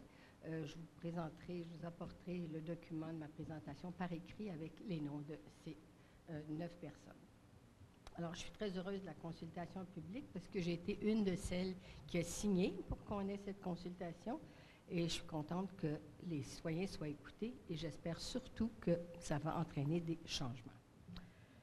Alors, la façon dont le dossier du stationnement a été mené, c'est un dossier, c'est qu'un dossier parmi d'autres qui illustre la méthode de gouvernance de l'équipe Tomlinson. Autoritarisme, politique du fait accompli, insensibilité et mépris des citoyens et absence de transparence. Mais aujourd'hui, je vais m'en tenir euh, évidemment au dossier du stationnement. D'abord, la méthode employée est inacceptable. Euh, ce projet d'un nouveau plan de stationnement est arrivé de façon tout à fait inattendue en juillet, au milieu de l'été, quand les gens sont soit en vacances, soit pensent à leurs vacances. Et c'est aussi un projet qui n'avait pas été demandé. Moi, j'assiste régulièrement aux réunions du conseil municipal et ma foi, je n'ai pas entendu qu'il y avait de problème de stationnement, sauf autour des écoles, quand le matin et le soir, les parents doivent aller chercher leurs enfants. Donc, ça ne répondait pas non plus à une demande des citoyens. Et enfin, je trouve que durant, à l'été, quand l'équipe Tomlinson a constaté que ça soulevait autant de mécontentement, elle aurait dû prendre l'initiative d'une consultation, ce qu'elle n'a pas fait. Et quand il y a une consultation qui a été accordée à la demande des citoyens, bien là, ils ont décidé d'aller de l'avant encore plus vite en installant des panneaux de signalisation qui imposaient leur plan à eux. Et je pense que ça, ça a suscité la colère des citoyens. Euh, et en plus que c'est un gaspillage de fonds publics. À quoi sert la consultation si tout est déjà installé? Alors maintenant, je vais regarder le contenu du projet. Le premier objet de mon désaccord, c'est l'objectif du plan Tomlinson. Transformer Outremont en un vaste parc de stationnement pour les étudiants et professeurs du campus 1000 de l'Université de Montréal, de façon à aller chercher des revenus de 400 000 pour Outremont, supposément pour planter des arbres. Alors, c'est clairement de l'hypocrisie, à mon avis. Si on veut protéger l'environnement, on sait très bien qu'une des mesures les plus efficaces, c'est de réduire l'utilisation de l'automobile, pas de l'encourager. Moi, je travaille au centre-ville, je suis guide au Musée des Beaux-Arts, et c'est sûr qu'il y a eu des, grincements dedans. On a réduit les places de stationnement, mais maintenant, presque tout le monde au musée qui travaille vient en transport en commun, et les visiteurs aussi. Or, le campus 1000, ils sont privilégiés. Ils ont en plein milieu du campus la station de métro L'Acadie, à la périphérie, la station de métro Outremont. Alors, pourquoi leur offrir des vignettes mensuelles qui coûtent à peine plus cher que la passe s'ils prenaient un autobus? Euh, la passe d'autobus, c'est 85 par mois, puis la vignette leur coûterait 100 euh, par mois. Ah oui? 50? Ah ben mon Dieu. Alors, euh, créer de nouvelles places de stationnement, à mon avis, c'est clairement une mesure qui va à l'encontre de la protection de l'environnement. Deuxième point de désaccord, c'est qu'en en tarifant tous les espaces de stationnement à Outremont, c'est la qualité de vie des résidents d'Outremont qui est sérieusement menacée. Lorsqu'on est résident d'un quartier, on doit pouvoir avoir une place de stationnement près de chez soi. Or, avec le nouveau plan de stationnement, là je parle de mon cas et de plusieurs autres qui habitent autour de moi, pour ceux qui habitent sur la Joie, entre Champagneur et Stuart, ce n'est plus possible. Entre Outremont et Stuart, le stationnement est interdit en tout temps. En conséquence, entre Outremont et Champagneur, il n'y a plus assez de place pour se, pour se stationner. Alors, je vais vous donner l'exemple de ma situation. Je vais travailler tous les jours au centre-ville avec le transport en commun mais un ou deux soirs par semaine, je vais garder chez mes petits-enfants dans l'est de la ville. C'est un cauchemar parce que je me dis toujours, au retour, à 9, 10, 11 heures, est-ce que je vais trouver une place? Ça va me prendre combien de temps? Alors, des fois, ça prend deux minutes, mais des fois, ça prend 15 minutes, 20 minutes. Alors, je me dis, c'est pas normal que ça soit ici. Alors, la cause du problème, c'est une piste cyclable qui a été installée et qui est très peu fréquenté parce que ça implique que les cyclistes qui viennent sur la rue Bernard fassent un détour. Alors, je suis venue à l'Assemblée d'information du 21 janvier, puis j'ai posé la question. Est-ce que vous avez un compteur pour vérifier s'il y a du monde ou pas sur cette piste cyclable? Et on m'a dit non. Alors, moi, ce que je demande, c'est qu'on vérifie si cette piste cyclable-là est utilisée et je pense qu'elle ne l'est pas. À l'automne, j'ai vu quelques bicyclettes et en hiver, aucune. Euh, ça crée des graves inconvénients, donc je pense qu'on devrait rétablir le stationnement. Moi, je pense en tout cas euh, que le stationnement sur rue d'une auto par famille devrait être disponible et gratuit. Et pour les autres autos d'une même famille, le coût de la vignette serait fonction de la consommation d'essence du véhicule, ce qui serait une mesure écologique. En fait, je sais que c'est ce que l'arrondissement de Ville-Marie a annoncé la semaine dernière. Autre aspect, les heures de stationnement pour nos visiteurs. Deux heures, ce n'est pas suffisant. Généralement, quand on reçoit la famille ou les amis, c'est souvent pour un repas, ce qui nécessite trois à quatre heures.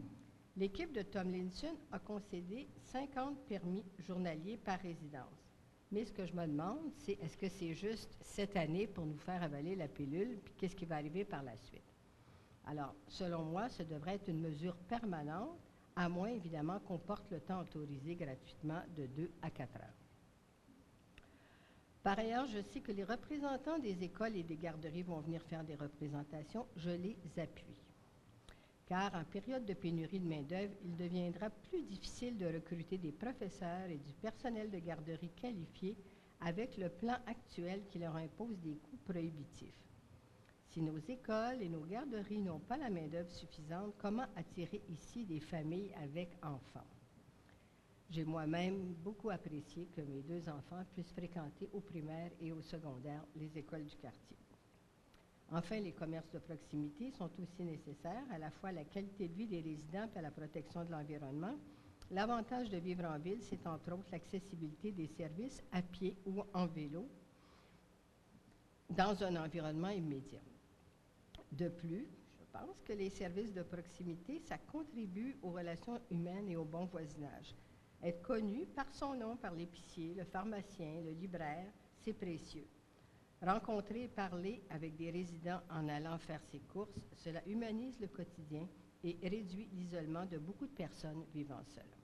Alors, pour soutenir les écoles, les garderies, les commerces de proximité, je pense qu'Outremont devrait rendre accessible à un coût raisonnable les places de stationnement pour ceux et celles qui y travaillent. Alors, j'habite Outremont depuis 40 ans. J'ai choisi d'y vivre et d'y élever ma famille pour sa qualité de vie.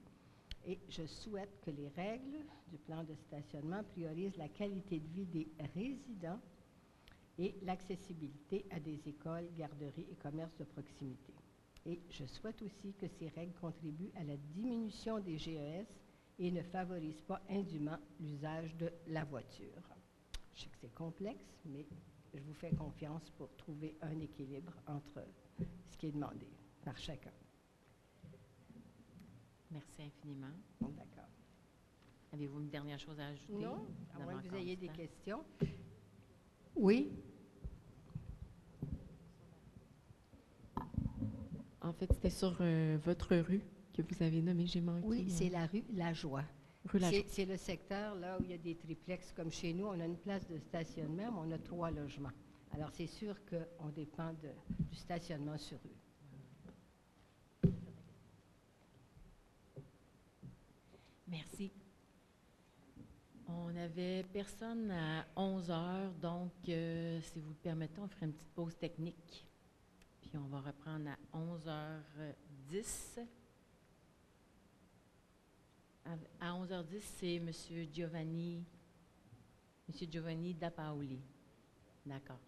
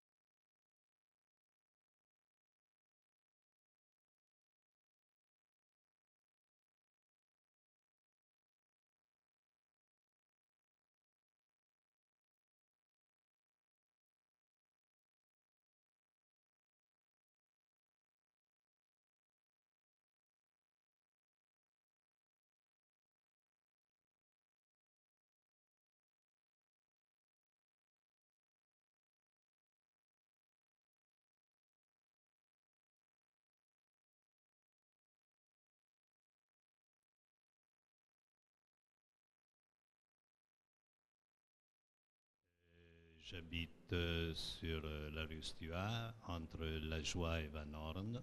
Il est important pour moi de souligner la place où je suis. J'habite avec euh, ma compagne depuis à peu près presque une quarantaine d'années.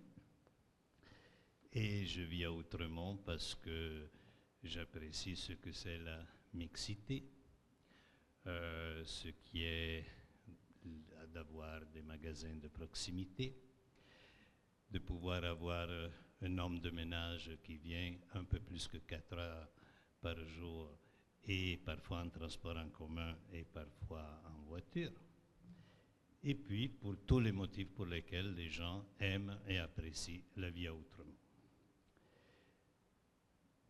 J'ai préparé un petit texte, euh, c'est un texte très court et très simple, et euh, je préfère euh, parler en tant que citoyen plutôt que comme expert, parce que j'espère que, euh, et grâce à votre travail, que je pense ça va être euh, assez grand, et aussi le travail que la ville fera, qu'il y ait des changements à ce que c'est la structure actuelle que nous avons découvert en rentrant de vacances, en voyant des affichettes qui nous rappelaient qu'il y avait un changement. Dans le stationnement. Donc, euh, euh, cette politique euh, de stationnement, de circulation de l'arrondissement a, soulevé de nombreux enjeux. J'ai participé à la rencontre du 21 janvier et plusieurs de ces enjeux ont été signalés. Il est clair que quand on homogénise, c'est-à-dire quand on fait le même règlement pour tout le monde, pense s'appelle 1 maintenant, l'espace de stationnement. Et quand il y a une pluralité, il est clair que chacun dans sa rue voit ou remarque des différences ou un inconfort et propose. Je pense que si vous devez ramasser toutes les propositions qui seront faites sur les stationnements, eh bien, il y aura beaucoup de travail tellement que la réponse de l'administration sera il y a trop de propositions, on va laisser ça, tout ça, comme ça. Mais par contre, euh, il est important de voir que ces enjeux euh, peuvent, sous certaines formes, d'accord, trouver une réponse et une solution. Mon intervention est liée à trois aspects. Le premier, la qualité, qui sont, qui sont liés à la qualité de vie de notre quartier. Un, c'est la durée du stationnement gratuit. Deux, le sens unique, le stationnement des deux côtés sur la rue Stuart. Et enfin, le tracé de la piste cyclable. Il est clair que les deux points, ceux, dont je parle, qui sont celui du stationnement des deux côtés et le tracé de la piste cyclable, c'est un problème qui est relatif à un petit groupe. Les personnes, les résidents entre l'avenue La Joie et l'avenue Van Horn. Et il est important de souligner ces effets pervers parce que euh, ce petit groupe subit, subit euh, une situation qui euh, pourrait être corrigée. Et puis, il y a ce grand sujet qui est celui du stationnement. Alors, je vais commencer sur la durée du stationnement. Et comme je disais, je ne donnerai pas de grandes réponses comme expert, mais je euh, partirai de ce que c'est l'habitude que j'ai, qui est celle de commencer toujours par trois, c'est-à-dire de commencer par l'expérience du numéro un et numéro deux, de quelqu'un qui a déjà fait quelque chose. Et alors je me dis, pourquoi, par exemple, euh, on ne s'est pas inspiré de l'expérience d'autres municipalités qui ont instauré un stationnement, par exemple, de 4 heures. La durée du stationnement autorisé pour les non-détenteurs soulève ce problème et la question c'est pourquoi? Et il semble, quand on voit les gens ou on parle avec les gens des villes avoisinantes, d'accord, que cette durée donne la possibilité de recevoir des personnes pour le repas, peut-être la qualité de vie que nous avons à Outremont nous demandent de passer plus que deux heures à la table. Et aussi pour les visites, visites à service à domicile. Et en tenant compte d'une acceptabilité sociale. C'est un mot extrêmement important. Pourquoi donc ne pas avoir suivi cette approche qui fonctionne si bien? Alors, c'est une question, je ne dis pas que c'est la solution, mais c'est extrêmement important de voir que des fois des petits détails comme celui-là pourraient réduire de, je ne donnerai pas le pourcentage, mais de beaucoup, ce que c'est les irritants des gens qui vivent autrement. Maintenant, je vais passer sur le côté du sens unique et à autre chose. J'aime beaucoup ma femme, je n'ai pas de maîtresse, mais je n'aimerais pas, mais pas qu'on sache qui vient me voir à la maison. Alors, je sais qu'il y a une étude qui se fait sur la privacy. Il semble que la ville d'Outremont, j'ai lu les réponses du maire, euh, aura tout un système qui ne dévoilera jamais les plaques. Par contre, euh, j'ai lu quelques articles sur des jardins et sur la privacy des différentes personnes qui avaient un compte chez Desjardins, mais je ne vais pas jouer sur ça. Je me dis, essayons d'éviter cette situation. Je ne dis, on n'a pas besoin de payer de nouveau des avocats pour qu'ils nous disent et nous garantissent que c'est secret. D'accord? Et parfois, c'est aussi les personnes qui n'aiment pas me donner la plaque, le numéro de plaque. Il y a, plein de, gens qui vivent avec euh, un esprit du complot et donc se, posent cette question. Alors, je passe au sens unique, le stationnement des deux côtés de la rue. Et euh, j'ai dit que cette politique nouvellement implantée présente des effets très pervers et contraires à l'esprit de éco-responsabilité mis de l'avant par l'arrondissement. Et je m'explique. Si vous prenez ce trait de rue de l'avenue Histoire, entre l'avenue Lajoie et l'avenue Van Horn, depuis l'implantation du sens unique, avant il y avait deux sens, et du stationnement des deux côtés de la rue, on connaît une importante augmentation de la pollution due au gaz carbonique. Il y en avait avant, mais maintenant elle est importante. je peux vous fournir et les données et vous faire toutes les photos. Euh, en pleine zone scolaire, les voitures y font la queue pendant de longues heures, périodes en particulier à la sortie et l'entrée des classes.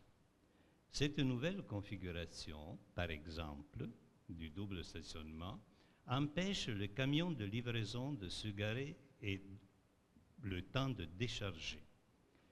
Que ce soit pour euh, euh, livrer du courrier, on est tous euh, des suiveux d'Amazon.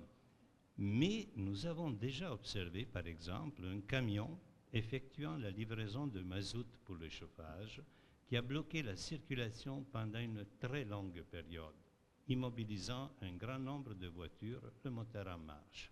Chaque fois qu'un camion s'arrête, il n'y a pas de place, ni à droite, ni à gauche. Et donc, la circulation vers l'avenue Van Horn est bloquée. Mais ce qui accentue le problème, c'est la durée du feu de circulation qui donne, nous les avons mesurés, 20 secondes seulement aux voitures pour tourner sur l'avenue Van Horn. Ce qui signifie qu'aux heures de pointe en particulier, le temps de laisser les piétons, qui sont nombreux, écoliers et usagers du métro, traverser un feu vert, il n'y a qu'une ou deux voitures qui peuvent tourner sur Van Horn, tandis que sur Stuart, la queue s'allonge et les moteurs tournent en faisant, en faisant du surplace pendant des heures. Comme je dirais, bonjour la pollution. Essayez d'ouvrir une fenêtre le matin vers 8 heures ou l'après-midi vers 16 heures. Et le logement sera imprégné de gaz carbonique. Je vous invite, il y a une machine à café espresso chez moi, Et euh, en prenant le café, vous pourriez vérifier. Ou sinon, des gens de l'administration, tout le monde est bienvenu. Il y a aussi du rosé le soir. Pour faire une simple analyse coût-bénéfice, en considérant que cette nouvelle réglementation ajoute 30 places de stationnement, on peut se demander si ça vaut la peine de polluer autant pour les quelques milliers de dollars que ces voitures rapportent à l'achat de vignettes. Et à ce propos, je me réfère, je pense que le maire aussi, il s'était référé à cet outil dans ses réponses, à un texte, à un cahier, un guide écrit pour le Conseil régional de l'environnement de Montréal en 1914, en 2014, dont le titre est Le stationnement, un outil incontournable de gestion de la mobilité et de l'aménagement durable. A été écrit par plusieurs de mes collègues que j'apprécie et euh, qui donnent plusieurs avis. Un de ces avis que j'ai lu euh, en le feuilletant et pour voir si on pouvait comprendre le pourquoi des gestes sur le stationnement euh, posés ici à Outremont, c'est une phrase qui dit La tarification devrait toujours être considérée en premier lieu comme un outil de gestion de la demande et non comme une façon de maximiser les revenus, qu'ils soient publics ou privés. Je pense que c'est le meilleur résumé que ce texte qui est utilisé par les différentes villes et arrondissements à Montréal et qui prend exemple en faisant des exemples de Zurich, de Barcelone et du plateau Mont-Royal, d'accord, pourrait être mieux lu et compris dans le sens qu'il est extrêmement important qu'il ne faut pas maximiser des revenus, mais être attentif à la demande, la demande étant celle des citoyens. Enfin, le tracé de la piste cyclable. Le tracé de la piste cyclable ne semble pas répondre aux besoins des cyclistes, qui sont de plus en plus nombreux à emprunter les trottoirs. En effet, le détour proposé par l'avenue La Joie et l'avenue Weisman pour joindre le campus 1000 est tout, est tout sauf naturel. Est-ce qu'il faudra un accident malheureux pour modifier le tracé de la piste cyclable qui devrait tout naturellement continuer tout le long de la rue Stuart pour rejoindre le parc que l'arrondissement devrait aménager sur le campus 1000 Regardez les plans et tout ça, vous allez comprendre le pourquoi de cette question. De plus, sur l'avenue Weisman, où le stationnement est permis d'un seul côté, on a tracé la piste de ce côté, alors que de l'autre côté de la rue est libre. Quand on connaît les risques d'emportierage, on se demande ce qui a pu motiver ce tracé. Alors, dans ce, dans ce cas-là, c'est vraiment la logique. Par expérience, je sais que souvent, quand on prépare un plan, on le fait avec un crayon ou aujourd'hui avec l'ordinateur, en regardant un écran ou une feuille de papier. Mais souvent, par exemple, quand on trace un chemin dans un parc, on s'aperçoit quelque temps après que les, les, gens font un autre chemin, ne suivent pas celui qui a été fait par le crayon. Parce que le, le tracé d'un crayon n'est pas le tracé du citoyen ou de la personne. Alors, de ce côté-là, les étudiants, et non seulement ceux qui prennent euh, le vélo, et tout à l'heure on disait, bon, on a su qu'on ne fait pas de, des comptes du nombre de personnes.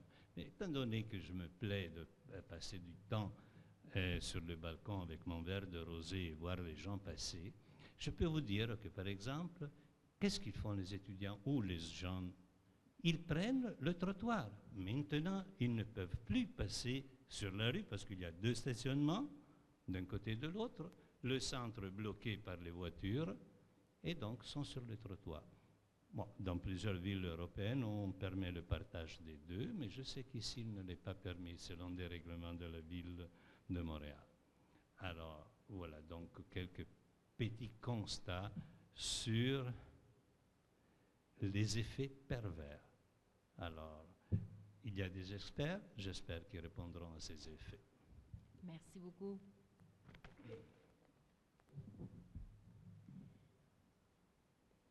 Monsieur Frédéric Fournier, de l'Association des marchands et professionnels d'Avenue Bernard. Euh, Monsieur Fournier, vous disposez de 10 minutes.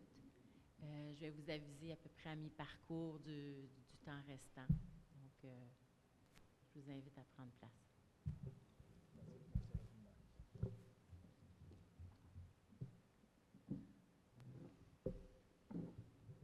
Bonjour, je suis Frédéric Fournier, je suis propriétaire du Bill Boquet de l'avenue Bernard et président de l'Association des marchands de l'avenue Bernard.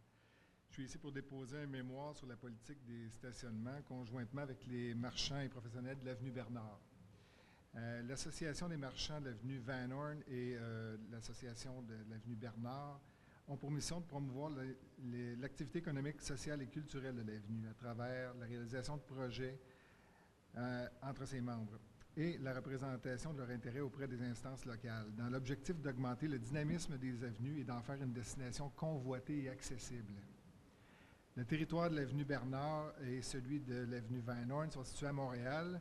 Pour ce qui est de l'avenue Bernard, les places d'affaires sont installées sur l'avenue Bernard entre Hutchison et l'avenue Rockland, également sur l'avenue Lavoie entre Champagneur et de l'Épée.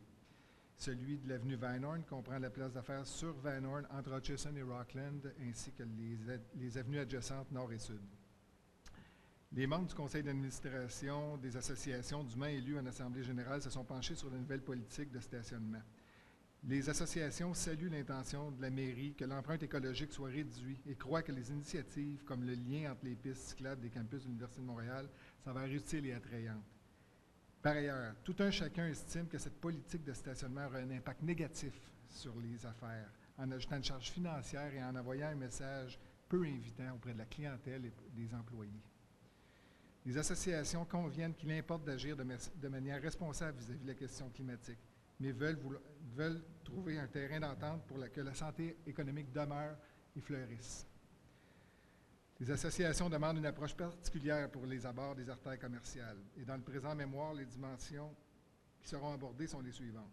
L'accès à la main-d'œuvre dans un contexte de pénurie, la mobilité des professionnels, des consultants et des fournisseurs sur le territoire, l'attraction et la rétention de notre clientèle et la rétention des commerces et des, et des professionnels sur le territoire. Voici l'offre de l'arrondissement, des vignettes mensuelles pour les non-résidents et pour les, les employés d'un détenteur de certificat d'occupation. Prix par mois 100 avec une réduction de 50% jusqu'en juin. Une vignette annuelle pour le propriétaire ou détenteur d'un certificat d'occupation. Prix de la vignette annuelle 100 à 140 selon la motorisation. Une seule vignette annuelle par détenteur d'occupation. Une vignette annuelle pour les vé- véhicules lettrés au nom de l'entreprise qui sont à l'usage du commerce. Quatre vignettes annuelles selon ce standard. Et les places de stationnement euh, par comète demeurent. Bon, l'accès à la main-d'œuvre dans un contexte de pénurie. Prenons seulement les données du secteur du commerce de détail en consultant les extraits du diagnostic de Détail Québec pour 2019. Les grands défis en ressources humaines du commerce de détail, recruter et embaucher les meilleurs candidats, les retenir, fidéliser les employés, former le personnel sans ralentir ses opérations, gérer les horaires qui peuvent couvrir un étendu jusqu'à quatre- 84 heures par semaine. Trouver une relève pour des gestionnaires, des propriétaires, pour assurer la pérennité de nos entreprises. Au niveau du recrutement, 29% des établissements prévoient augmenter le nombre d'employés d'ici trois ans. Le grand défi, trouver des candidats. Roulement de personnel, c'est un problème pour 29 des, des établissements, principalement en raison du contingent étudiant et le poste de conseiller vendeur est le plus affecté. Au niveau de la population, le vieillissement de la population affecte les activités de recrutement pour les détaillants, qui embauchent les 15 à 24 ans en grand nombre. Cette, tra- cette tranche d'âge sera, sera beaucoup moins nombreuse en 2021. La situation est semblable pour les soins personnels, en alimentation, au commerce de détail, en restauration. Certains métiers sont à près de 100% de taux d'emploi. Prenons par exemple les hygiénistes dentaires. Dans un contexte où le taux de chômage au Québec avoisine les 5 à 7% À Montréal, dans un bassin de main-d'œuvre mobile d'un quartier à l'autre, d'une ville à l'autre, d'un pays à l'autre, Les options en matière d'attraction et de rétention des employés chez les commerces de proximité et les professionnels se raréfient et ne peuvent être fragilisés davantage par des contraintes supplémentaires. L'offre de l'arrondissement à regard des employés. Oui? Il juste minutes. Pardon? Il vous reste quatre minutes. Merci. L'offre de l'arrondissement à regard des employés est insatisfaisante. Il va sans dire qu'une cuisinière venant de Laval, par exemple, qui travaille dans Outremont, qui doit repartir à, 4 heures, à 1 heure du matin, doit, pouvoir se garer si elle détient un véhicule. Le stationnement gratuit à la raison de deux heures ne la soutient pas et le coût d'une vignette mensuelle peut être un frein pour elle. Trouver du stationnement pouvait être possible avant euh, cette nouvelle, euh, ce, nouveau contexte. Et dans le contexte proposé, le coût sera important pour les employés. Par ricochet, c'est les employeurs qui vont payer la facture. Le prix d'une vignette pour le personnel est prohibitif pour la plupart des entreprises du territoire, même à moitié prix. Pour les travailleurs occasionnels, dont certains viennent dans le quartier pour quelques heures seulement par jour, les nouvelles mesures peuvent poser problème, les obligeant à prendre une vignette journalière pour une prestation de travail de courte durée, mais qui dépasse tout de même deux heures. Les associations demandent, si le système de vignettes est maintenu, que des vignettes annuelles soient accessibles pour les travailleurs et travailleuses autonomes consultants, qui n'ont d'autre choix que de prendre leur véhicule. Pour être clair, si les vignettes sont en place, les personnes qui se déplacent pour travailler dans l'arrondissement devraient être considérées comme des résidents pour l'achat des vignettes, sinon que des permis spéciaux soient émis pour ces derniers. De plus, les associations veulent que par cette mesure, ne veulent pas que cette mesure s'avère nuisible aux résidents qui habitent près des artères commerciales et demandent à l'arrondissement de faire preuve de la plus grande vigilance. Aussi, les associations demandent à l'arrondissement de développer une stratégie solide de transport durable qui inclut les transports en commun en premier. Elles demandent également que toutes les places de stationnement à parcomètre soient maintenues. Il ne faut pas qu'il y ait une perte de place à stationnement dans le secteur commercial. Les associations sont prêtes à faire des représentations conjointement avec l'arrondissement pour que les services d'autobus soient rendus plus efficaces et que le métro soit progressivement désengorgé en heure de pointe. C'est un service essentiel, notamment pour les jeunes qui entrent sur le marché du travail. Stationner sa voiture quand on est fournisseur de services, représentant agent d'immeuble, préposé de services à domicile n'est pas une partie de plaisir. Qu'arrivera-t-il de la mobilité de ces personnes lorsque la nouvelle politique de stationnement sera mise en place? Ils auront bien deux heures gratuites, mais après, pourront-ils trouver du stationnement? Bien entendu, les transports en commun, le transport actif qu'il faut promouvoir encore plus, mais soulignons que ces personnes, tout comme d'autres travailleurs, peuvent être des chefs de famille et avoir besoin de leur voiture pour leur déplacement ou tout simplement pour leurs affaires. De plus, ces jeunes ne roulent pas nécessairement sur l'or. L'arrondissement doit trouver une, solution pour les professionnels, les consultants, les équipes volantes et les entreprises à fort volume de déplacement actifs dans l'arrondissement. Pour les fournisseurs, trop d'espace existe pour, euh, trop peu d'espace existe pour le stationnement. Comment faire quand le fournisseur peine à livrer notre marché? Comment faire le commerce dans Outremont quand le fournisseur a de la misère à trouver du stationnement pour nous livrer nos marchandises? Attraction et rétention de la clientèle. La question de l'attraction et de la rétention de la clientèle dans le cadre de l'activité commerciale se joue sur deux tableaux, celui des résidents et des visiteurs. Comme bon nombre, la clientèle est locale. La nouvelle politique de stationnement doit d'abord et avant tout permettre aux résidents une place. Ainsi, dans les propositions d'association, nous introduisons ici des remarques sur l'accès des résidents au stationnement sur rue, sur leur rue plus particulièrement. D'ailleurs, à ce chapitre, la nouvelle politique implique que certains tronçons de rue à proximité du secteur commercial soient interdits de stationnement, ce qui va créer une, pression supplémentaire, sur Champagnard par exemple. Ainsi, nous demandons à l'arrondissement de maintenir les, les, stationnements réservés aux résidents à proximité des artères commerciales pour protéger ces espaces et euh, de recevoir les interdictions de stationnement, de revoir les interdictions de stationnement des rues avoisinantes. Les associations invitent l'arrondissement à préparer une campagne média auprès du public pour atténuer l'impact des annonces récentes. C'est une véritable campagne de promotion d'Outremont que l'arrondissement a besoin. Outremont, comme destination de choix, comme zone commerciale diversifiée, où chacune des artères a son caractère et ses belles surprises. Cette campagne doit aussi présenter les facilités pour les visiteurs, donc trouver du stationnement. Elle invite, comme précédemment, à faire pression sur la STM pour améliorer la, desserte en transport en commun. Pensons à la 160 qui se fait rare, à la 51 à certaines heures. Je vais vous inviter peut-être à conclure. À conclure? En conclusion. Euh, dans l'offre faite au commerce et professionnels et travailleurs autonomes, seul le maintien des parcomètres et de la vignette annuelle pour le propriétaire où le certificat d'occupation tiendrait, la route, mais ne peuvent à elles seules régler la situation. Les associations demandent à l'arrondissement qu'elle suspende l'application de la politique le temps qu'elle soit revue et qu'elle aille chercher des avis supplémentaires sur l'impact de telle politique sur l'économie du quartier. Les associations demandent à l'arrondissement d'établir un organe de concertation continue sur le sujet entre, les- entre l'arrondissement et les associations de commerçants et de professionnels et qu'elle procède à une meilleure médiation entre les intérêts des résidents et ceux des commerçants, dans le but de maintenir un climat social favorable au bien collectif et au développement des affaires. Il s'agit de chercher un modèle ayant le moins d'impact possible sur la vitalité commerciale et la vie quotidienne des résidents. Merci. Merci infiniment. On a déjà votre euh, mémoire. Oui, oui. Merci.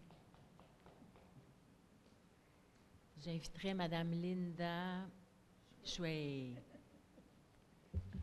Si je peux prendre un peu d'eau.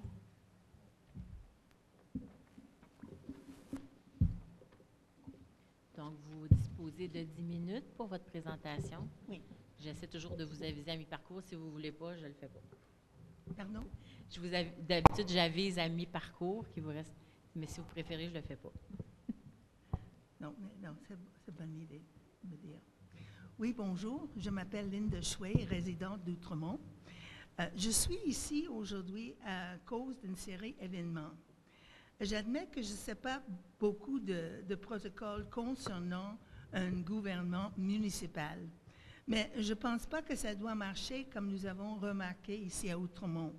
Au niveau provincial, au fédéral, quand vous voulez faire une nouvelle règle, une nouvelle loi, le travail commence dans les comités et après un peu de temps et avec des, des- opinions des experts, vous avez une loi ou un règlement. Ce n'était pas le cas ici, surtout concernant les nouveaux règlements de stationnement. Ça a l'air que le Conseil n'a rien fait à part de déclarer qu'il y aura des nouvelles règles. Le première séance municipale, après cette annonce, il y avait 50 personnes fâchées devant la salle du conseil municipal. C'était très facile à constater que l'administration n'a pas fait beaucoup de préparation concernant ce dossier. Je l'ai trouvé difficile de décider si c'était quelque chose mal pensé ou ne pas pensé de tout. Il y avait les questions et la seule réponse était on va trouver une solution pour ça. Ça a été la réponse ici. C'était la réponse dans une réunion avec la table de concertation pour les aînés d'Outremont. Maintenant, six mois après l'annonce, il y a encore des problèmes. Les enseignants, les clubs de bridge, etc. Comme présidente de la Commission des aînés libéraux du Parti libéral du Canada, section Québec, j'avais des autres questions. Dans une réunion avec le maire, la réponse de mes questions était la même chose. On va trouver une solution. À un point, on ne savait pas si les vignettes auraient virtuelles ou réelles. Avec tout ça, avec le temps, j'ai remarqué que le niveau de stress était augmenté. Merci, M. Tomlinson. C'est exact ce que je n'ai pas besoin. Ni moi, ni les autres aînés, ni les autres résidentes d'Outremont. J'ai grandi à Outremont et aujourd'hui, avec tout le stress et l'incertitude, je ne reconnais même pas mon quartier. Avec votre politique de présenter une idée non pensée et après les heures de consultation et la participation de beaucoup de résidents, c'est presque comme nous étions des employés à temps partiel de la ville. Ce n'est pas comme ça que ça marche. Vous êtes censé faire le travail de base et la planification, puis nous consulter afin de résoudre d'autres problèmes. I enjoy participating in an advisory capacity, but I will not do your work for you. Pendant cette période de consultation, la Ville a installé les nouveaux panneaux indiquant deux heures de stationnement gratuit. On n'installe pas les nouvelles enseignes de stationnement avant la fin des consultations. Ça signifie que les consultations sont une imposture et une perte de temps.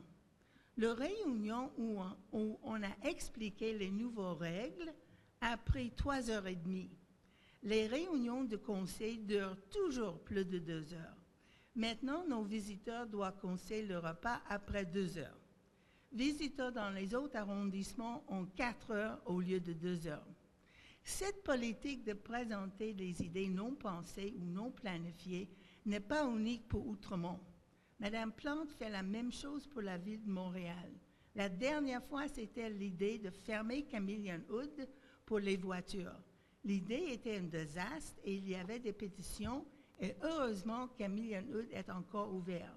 La montagne à Montréal est quelque chose unique et très aimé par les citoyens de la ville. C'est très possible que la montagne sera choisie par UNESCO comme un trésor culturel international et Mme Plante voulait la, voulait la changer.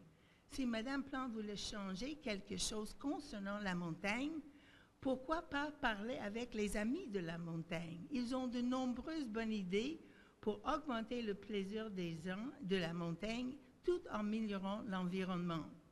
Maintenant, Mme Plante a commencé à parler concernant les feux verts. Certains aînés se plaignent que les feux verts sont trop courts pour pouvoir traverser la rue en toute sécurité. Madame Plante a suggéré que la longueur des feux verts soit prolongée pour toutes les rues de la ville entière. Aucune recherche, aucun conseil, aucune enquête. Quelques arrondissements ont déjà fait quelque chose concernant ce problème. Peut-être que cela ne se fera que dans certaines rues. Faut-il vraiment prolonger la longueur de feu vert sur boulevard René-Lévesque? La recherche le monte-t-elle? C'est juste une autre idée qui devrait être examinée avant la mise en œuvre. Je suis fatiguée de cette méthode de gouvernance amateur et qui fait perdre du temps. And just as a final note, seniors do not add to the CO2. We retired from the workforce and do not participate in the morning or evening rush hour. We only use our cars as a way to increase our mobility so that we can get to our volunteer work, to visit family, or to the other activities we enjoy. I never leave my apartment before 9 a.m., and I'm always home before 3 p.m. Et concernant les enseignants, ils, ne sont pas égaux. Si vous enseignez chez Centre d'éducation pour les adultes, vous n'avez pas besoin d'acheter une vignette parce que l'école a de stationnement sur terrain. Mais si vous enseignez dans une école sans terrain de stationnement, vous devrez acheter une vignette. Et aussi les enseignants dans les garderies. Monsieur Tomlinson, does that sound fair to you? Vous et les autres employés ont stationnement gratuit chez l'hôtel de ville. J'ai aussi un autre petit chapitre concernant la fin de janvier et début de février. Une voisine dans notre bâtiment, une femme de 92 ans, a une femme de ménage qui vient une fois par 14 jours et reste pendant 5 heures. Elle n'a pas d'Internet et était inquiète. Je suis allée avec elle à l'hôtel de ville et elle a noté toutes les infos qu'elle avait besoin et les instructions pour savoir comment on réagisse sa femme de ménage.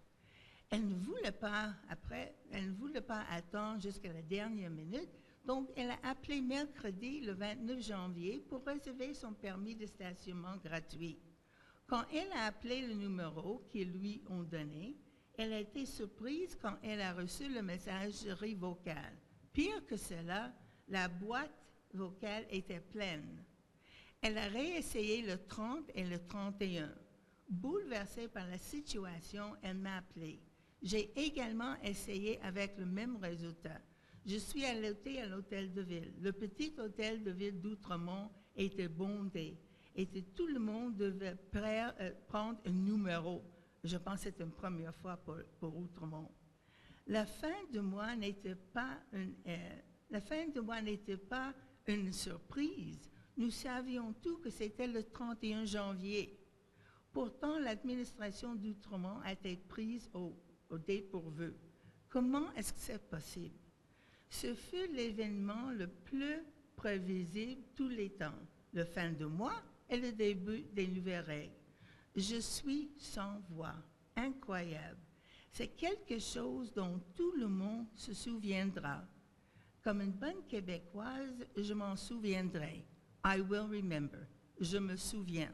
Merci pour votre attention. Bonne journée et tous mes excuses à Molière. Merci. Pas d'excuses à Molière à faire.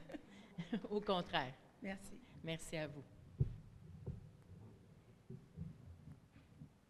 Euh, je demanderai à Mme Roberge de la commission euh, scolaire Marguerite Bourgeois, s'il vous plaît, de vous avancer.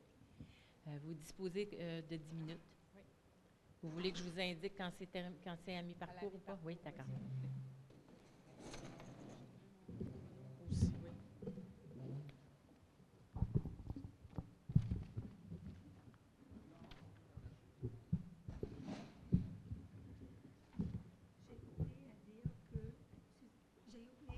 que mon discours est, est- est sur mon page Facebook, Linda Chouet.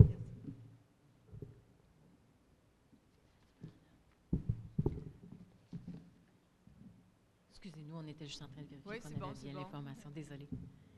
Bonjour, Oui, Danielle bonjour. Roberge, directrice générale adjointe à la commission scolaire Marguerite Bourgeois. Je suis accompagnée, je vais laisser ces- présenter euh, ces dames qui m'accompagnent. Bonjour, je suis Nadine Lavoie, directrice de l'école La Joie. Bonjour, Nancy Boyce, directrice de l'école Saint-Germain d'Outremont. Bonjour, Isabelle Plante, directrice à l'école primaire Guy Drummond. Bonjour, Diane Vallée, directrice du Centre d'éducation des adultes Outremont. Bonjour. Merci de nous recevoir euh, aujourd'hui. Je pense qu'on entend bien dans les médias la problématique autour euh, des écoles euh, à Outremont. Peut-être juste de réitérer que la commission scolaire, on a 75 000 élèves, on a 11 500 euh, employés. Donc, on est le deuxième plus grand réseau scolaire francophone au Québec. On est reconnu, vous le savez aussi, pour euh, notre euh, côté euh, innovateur et surtout au niveau de la réussite euh, des élèves. Donc, on figure dans les trois premiers au niveau euh, de la réussite des élèves. Donc, l'expertise de nos enseignants, c'est quelque chose euh, auquel on y croit. D'entrée de jeu, je veux dire aussi, je pense que c'est important qu'on euh, croit beaucoup euh, à réduire notre empreinte carbone à la commission scolaire, avec aussi la construction de nouvelles écoles et on aura une nouvelle école à Outremont, je dirais même euh, tout près d'ici, pour ne pas dire à côté. Et dans la construction de nos nouvelles écoles aussi, on, met en œuvre des éléments là, pour pouvoir assurer le tout. Considérant ça aussi, je trouve important de remettre dans le contexte qu'on est en hypercroissance. Je l'entendais dans les euh, discussions euh, précédentes, mais aussi au niveau de la commission scolaire. Donc, il faut dire qu'on couvre le milieu de l'île et jusqu'à l'ouest de l'île. On aura, dans le fond, si on regarde de façon systémique à Montréal, dans nos trois commissions scolaires, on attend 17 200 élèves de plus sur le territoire de Montréal. Ça, je trouve que c'est important de pouvoir le dire. Donc, on a une pression croissante, donc le, fait aussi qu'on a besoin d'écoles supplémentaires et qu'on a de moins en moins, vous le savez, d'enseignants qui sortent des universités pour pouvoir combler tous ces postes. Donc, si on applique un ratio de 120 127,3 enseignants pour 1000 élèves, Montréal aura besoin d'environ de plus de 2200 enseignants d'ici les cinq prochaines années. Ça, c'est sans compter les variables. Donc, quand on parle de variables, c'est les maternelles 4 ans qui ne sont pas dans l'ensemble de nos, euh, de nos écoles présentement. Ça veut dire 200 classes de plus de ce que je vous ai mentionné précédemment. Ça veut dire deux enseign- 200 enseignants de plus. Et dans les classes de maternelle 4 ans, il y a un éducateur. Donc, ça va demander aussi 200, as- 200 éducateurs de plus. Développement immobilier en croissance. Donc, juste ici à côté, on a, a aussi cet impact. Arrivé au cours euh, de l'année précédente, juste pour dire que dans notre commission scolaire, à chaque semaine, on reçoit 50 élèves de plus issus de l'immigration. Donc, ça fait une école secondaire de plus à chaque année. Plus les nouvelles euh, mesures du gouvernement euh, qui euh, fait en sorte qu'on a de nouveaux professionnels qui viennent s'ajouter euh, euh, aux enseignants. Les ratios des classes d'accueil, des classes EHDA font en sorte aussi qu'on a besoin de plus d'enseignants. Ceci dit, euh, dans ce contexte-là, vous le savez, sur le territoire d'Outremont, nous avons euh, les écoles mentionnées et euh, font en sorte aussi qu'on a des projets particuliers dans, nos écoles. Outremont, je, je pense que vous, vous connaissez, nos écoles ont une très, très grande, une bonne réputation, qui fait en sorte aussi, on a des projets particuliers comme l'école alternative, qui demandent, dans le fond, à nos enseignants d'avoir une expertise pointue. Il n'y a peu d'écoles alternatives à Montréal, donc nos enseignants euh, sont peu nombreux euh, à avoir cette expertise. On a des classes TSA, on a des classes d'accueil, des classes de francisation, on a une école internationale, on a aussi un projet à PGLO euh, en théâtre et en douance. Donc, toutes ces caractéristiques-là ne se retrouvent pas nécessairement à l'ensemble des autres territoires et font euh, de Outremont quelque chose de particulier. Et ce qu'on mentionnait précédemment au niveau du, contexte de l'hypercroissance, bien, nous font croire que ces enseignants-là pourraient être peut-être amenés à enseigner à l'extérieur de Outremont et on perdrait, dans le fond, notre expertise. Les conséquences de l'application d'un nouveau plan de stationnement à Outremont euh, réduit de manière significative l'accessibilité au stationnement sur rue aux employés, la stabilité du personnel. Je trouve qu'en contexte d'hypercroissance, les enseignants auront le choix d'aller enseigner ailleurs. Donc, il y en a qui, qui, ont commencé déjà à démissionner pour aller enseigner euh, tout près de leur maison, donc à l'extérieur même de Montréal pour certains. D'autres ont choisi et choisiront parce qu'on a, euh, dans peu de temps, les enseignants pourront choisir une autre école, le front, parce que ça a déjà été mentionné. Je ne sais pas si une de mes directrices veut expliquer un peu les mouvements qu'on voit à, l'intérieur de nos écoles. Bien, en fait, c'est qu'il y, a euh, déjà des enseignants qui ont clairement manifesté leur désir de changer d'affectation parce que vous comprenez que euh, en fonction des règles qui sont prévues à la convention collective des mouvements de personnel, ils ont la possibilité de demander un changement de poste sans toutefois démissionner. Donc, c'est ce que plusieurs de mes enseignants m'ont signifié euh, faire, en fait, euh, avant la, date limite qui approche, euh, qui approche à grands pas. Et il y en a d'autres qui ont dit, bien, j'envisage peut-être de le faire effectivement aussi, de m'inscrire à ce qu'on appelle le mouvement volontaire, qui va offrir la possibilité aux enseignants d'aller à des postes, des postes qui sont disponibles dans les autres territoires de la commission scolaire. Je vous dire qu'il vous reste quatre minutes. Donc, stabilité du personnel a un impact majeur sur la réussite de nos élèves à Outremont. Réalité familiale, nos enseignants ou le, reste du membre du personnel doivent aussi conjuguer avec euh, aller, porter les enfants au CPE ou dans un autre établissement et revenir travailler à des heures qui sont quand même très tôt euh, le matin. Euh, on a aussi le recrutement du personnel, je l'ai dit tout à l'heure suite à la présentation. Le recrutement de personnel de suppléance ou de remplacement. Ça, c'est important de considérer que du moment où l'enseignant s'absente, va nommer son absence le matin, il nous faut quelqu'un d'autre qui va venir sur le territoire d'Outremont, n'aura pas de permis, donc ne pourra pas exercer durant la journée, ou sinon va être obligé de sortir après deux heures, donc euh, va laisser les enfants seuls. Et il faut savoir qu'il y a un roulement très grand dans nos établissements présentement, et on considère qu'il va y avoir une problématique majeure. Les interventions techniques, donc quand il y a une urgence dans une école, euh, s'il y a un dégât d'eau, quoi que ce soit, on doit avoir euh, l'entretien qui puisse venir de façon ponctuelle pour une urgence ou pour un entretien euh, à plus long terme. Donc, ça aussi, ça nous cause souci. L'accueil des, partenaires, il faut savoir que dans une école, il n'y a pas que le personnel inscrit comme les enseignants ou autres. Il y a aussi tous les artistes ou euh, les scientifiques qui viennent, dans le fond, euh, apporter une contribution euh, ponctuelle. Le travail d'équipe, il faut savoir qu'à Outremont, j'en ai parlé tout à l'heure, à l'école Guy Drummond et internationale et à l'école alternative Nouvelle-Kerbe, les parents sont aussi, font partie de la coéducation. Donc, on a aussi cette mobilité-là. On a aussi tous les conseillers pédagogiques qui doivent passer d'une école à l'autre et pas seulement dans le territoire euh, d'Outremont. Les psychologues qui font aussi plusieurs écoles et pas nécessairement juste dans Outremont. Et euh, les travailleurs sociaux, etc., etc. Euh, donc, à cause de tous ces éléments-là, je pense que vous l'avez bien entendu dans les médias, la confiance des acteurs du milieu est mise à mal à l'intérieur de ça, dans le fond, on, pense considérer l'impact négatif de la réussite parce qu'il y aura une très grande mobilité, qu'on considère que euh, nos écoles, c'est un service essentiel. Euh, on est content de voir quand même, euh, suite à un reportage là, où le maire disait à M. Rainville d'un souhait de discuter encore pour trouver des solutions. On a eu la chance d'une ouverture peut-être prochaine pour aller s'asseoir avec le maire. On y compte bien. On, espère qu'il y a un, réel désir de saisir l'ampleur euh, de la problématique et de voir à une collaboration.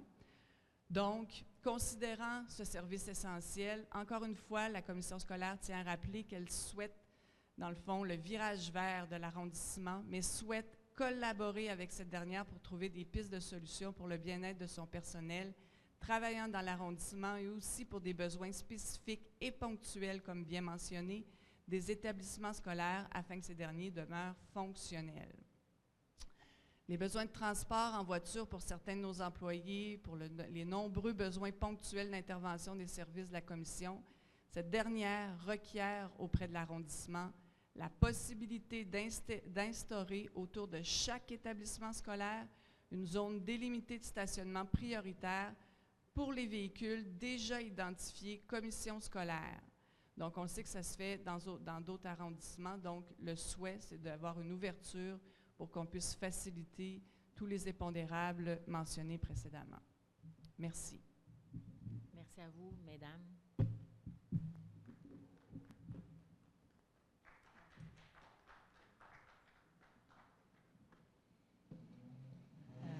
Pour la séance de ce matin. On va terminer avec euh, Madame Laurence Versini. Si elle est là. Ah oui.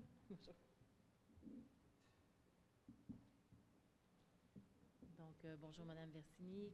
Comme euh, pour les autres, 10 minutes, puis je vous indique ou pas à mi-parcours, ou je vous laisse aller?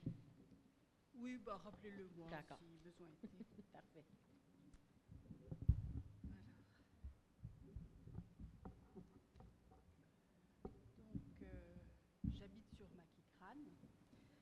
Et moi, je voulais attirer votre attention sur un point euh, un peu particulier parce que je pense qu'il y aura, je laisse le soin aux autres de développer tous les impacts euh, annexes. Mais je souhaitais attirer votre attention, moi, sur les dos. Euh, les dos qu'on appelle également ralentisseurs et gendarmes couchés pour le clin d'œil. Donc, l'annonce a été faite en septembre 2019 euh, sur le site internet que l'arrondissement allait inonder euh, les rues d'Outremont de Dodane ou ralentisseurs. un total de 94 euh, ralentisseurs est prévu sur l'arrondissement. C'est tout à fait considérable sur un arrondissement de 3,8 km. Le but est évidemment de sécuriser le territoire pour protéger les plus vulnérables. Euh, mais c'est une solution unique, pratiquement. Euh, c'est comme si on, soignait toutes les maladies avec du Coca-Cola, euh, en quelque sorte. le processus est canalisé. Les résidents ont la possibilité donc de faire une demande, parce que certains résidents sont demandeurs à ce type d'ouvrage et le processus est canalisé sur le site. Euh, en préalable, je dirais qu'effectivement, euh, cette implantation euh, relève de la politique de sécurisation du territoire de l'arrondissement, mais bien entendu, elle a également des impacts sur la circulation, puisqu'elle est destinée à ralentir la vitesse. Par conséquent, elle a tout à fait sa place dans le cadre de cette consultation. Bien entendu, euh, ces ouvrages, la, littérature scientifique s'est penchée sur leur performance en matière de qualité de l'air. Euh, je cite dans mon mémoire trois études. Euh, la première a été réalisée par une association française qui s'appelle Liguerre. ce n'est pas une étude financée par le lobby automobile. cette association travaille pour le compte de départements de la région centre et publie donc euh, une étude intitulée sur la simulation de l'impact des aménagements urbains sur la qualité de l'air en zone 30. Donc on est vraiment, on colle vraiment euh, au, cas d'Outremont. Euh, cette étude conclut de façon très, très, schématique que l'utilisation d'un aménagement de type Dodan peut conduire à une augmentation des concentrations en NO2 allant de 10 à plus de 40% dans la zone aménagée par rapport à l'utilisation d'un aménagement de type chicane. Les concentrations les plus, importantes sont observées d'une façon générale dans la zone aménagée et en particulier dans l'environnement proche de l'aménagement type Dodan. Euh, ces conclusions sont évidemment euh, corroborées par bien d'autres études et notamment une étude publiée dans la revue Air Quality Atmosphere and Health en avril 2019 euh, qui s'attache, et là, qui, relève les mêmes, les mêmes conclusions, avec cette fois des taux relevés encore plus élevés, soit pratiquement le double de ceux qu'on pourrait relever dans le cadre d'une chicane, par exemple.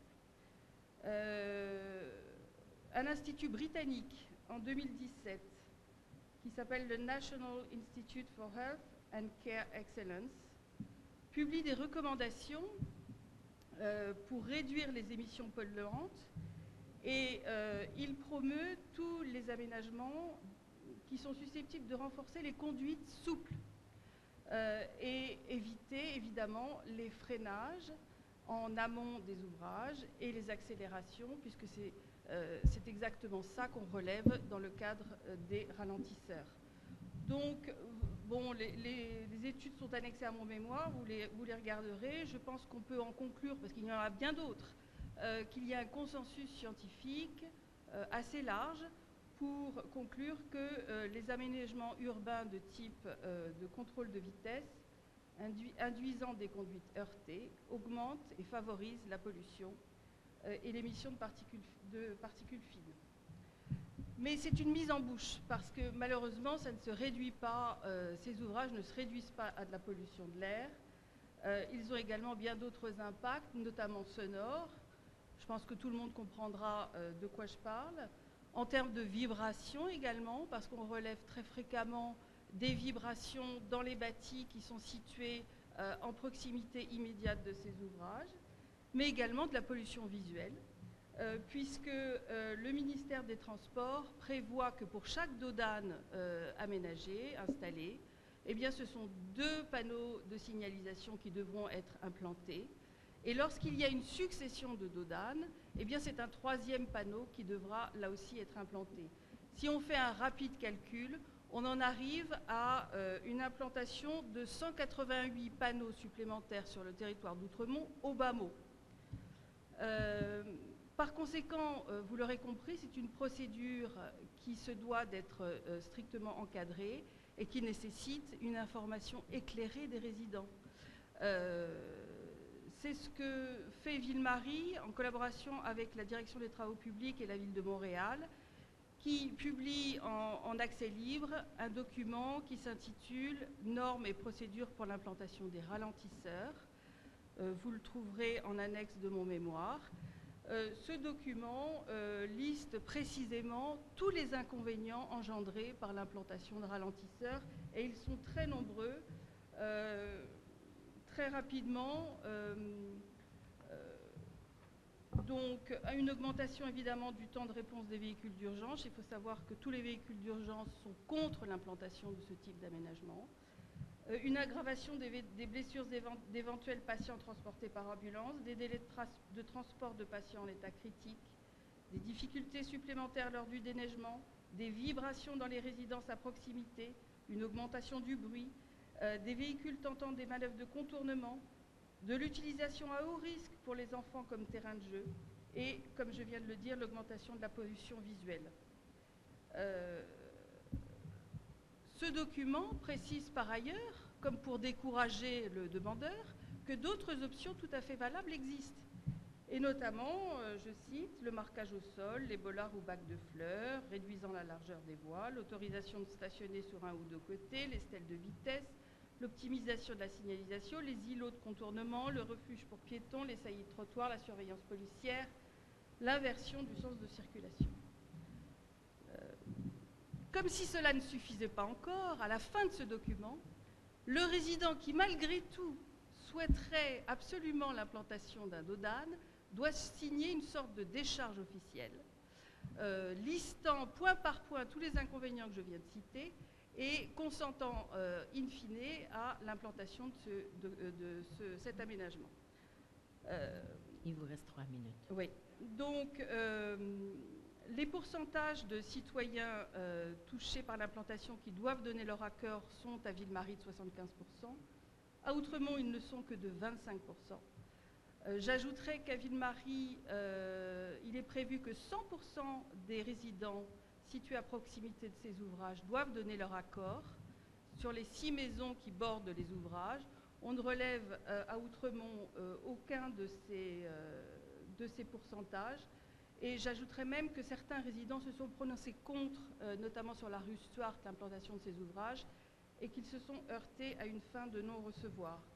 J'en conclus donc que euh, les, résidents sont mal informés des inconvénients qui résultent de ces ralentisseurs et qu'aucune euh, des précautions nécessaires, en termes notamment de recours judiciaire, on peut envisager par exemple qu'une famille asthmatique euh, en face de laquelle va s'implanter un, ralentisseur de ce type verra ça d'un mauvais œil. De la même manière, un bâti qui sera affecté par des vibrations euh, je suppose que cela affectera la valeur patrimoniale de euh, leur résidence et leur santé et leur santé mentale. Euh, le ralentisseur a sa place sur des points très précis, mais je, crois qu'il ne peut pas servir de pansement universel et généralisé pour masquer un, manque de vision et d'appréciation d'un plan de circulation dans son ensemble. Euh, en ce qui concerne la signalisation supplémentaire, tout le monde est d'accord pour une simplification. Je crois que personne n'est pour une prolifération euh, des pancartes. Euh, on a le sentiment que ce plan est une juxtaposition de mesures disparates, sans vision d'ensemble, avec parfois des mesures parfaitement cyniques. On va investir dans la transition écologique grâce aux revenus générés par des places de stationnement supplémentaires ou bien on va financer euh, une étude de GOS, des gaz à effet de serre générée par les augmentations d'implantation d'ouvrages polluants par la plantation d'arbres. Euh, donc euh, c'est un système un petit peu bipolaire qui est parfaitement inquiétant. On ne relève par ailleurs aucune incitation pour les véhicules électriques, par exemple, ce qui pourrait avoir un intérêt quand on sait qu'au Québec, euh, euh, les, composants des batteries sont à 99% recyclables. Ça pourrait être un outil intéressant. Et enfin, une étude de GES, oui, ça peut être intéressant, mais avant l'implantation d'ouvrages polluants et non pas après. Voilà. Donc, euh, je soulève un manque de cohérence entre les politiques de sécurisation et de contrôle de pollution de l'arrondissement. Et euh, la réponse qui est apportée, c'est les deux vont de pair. Donc je pense que là, il y a un point à creuser. Merci infiniment.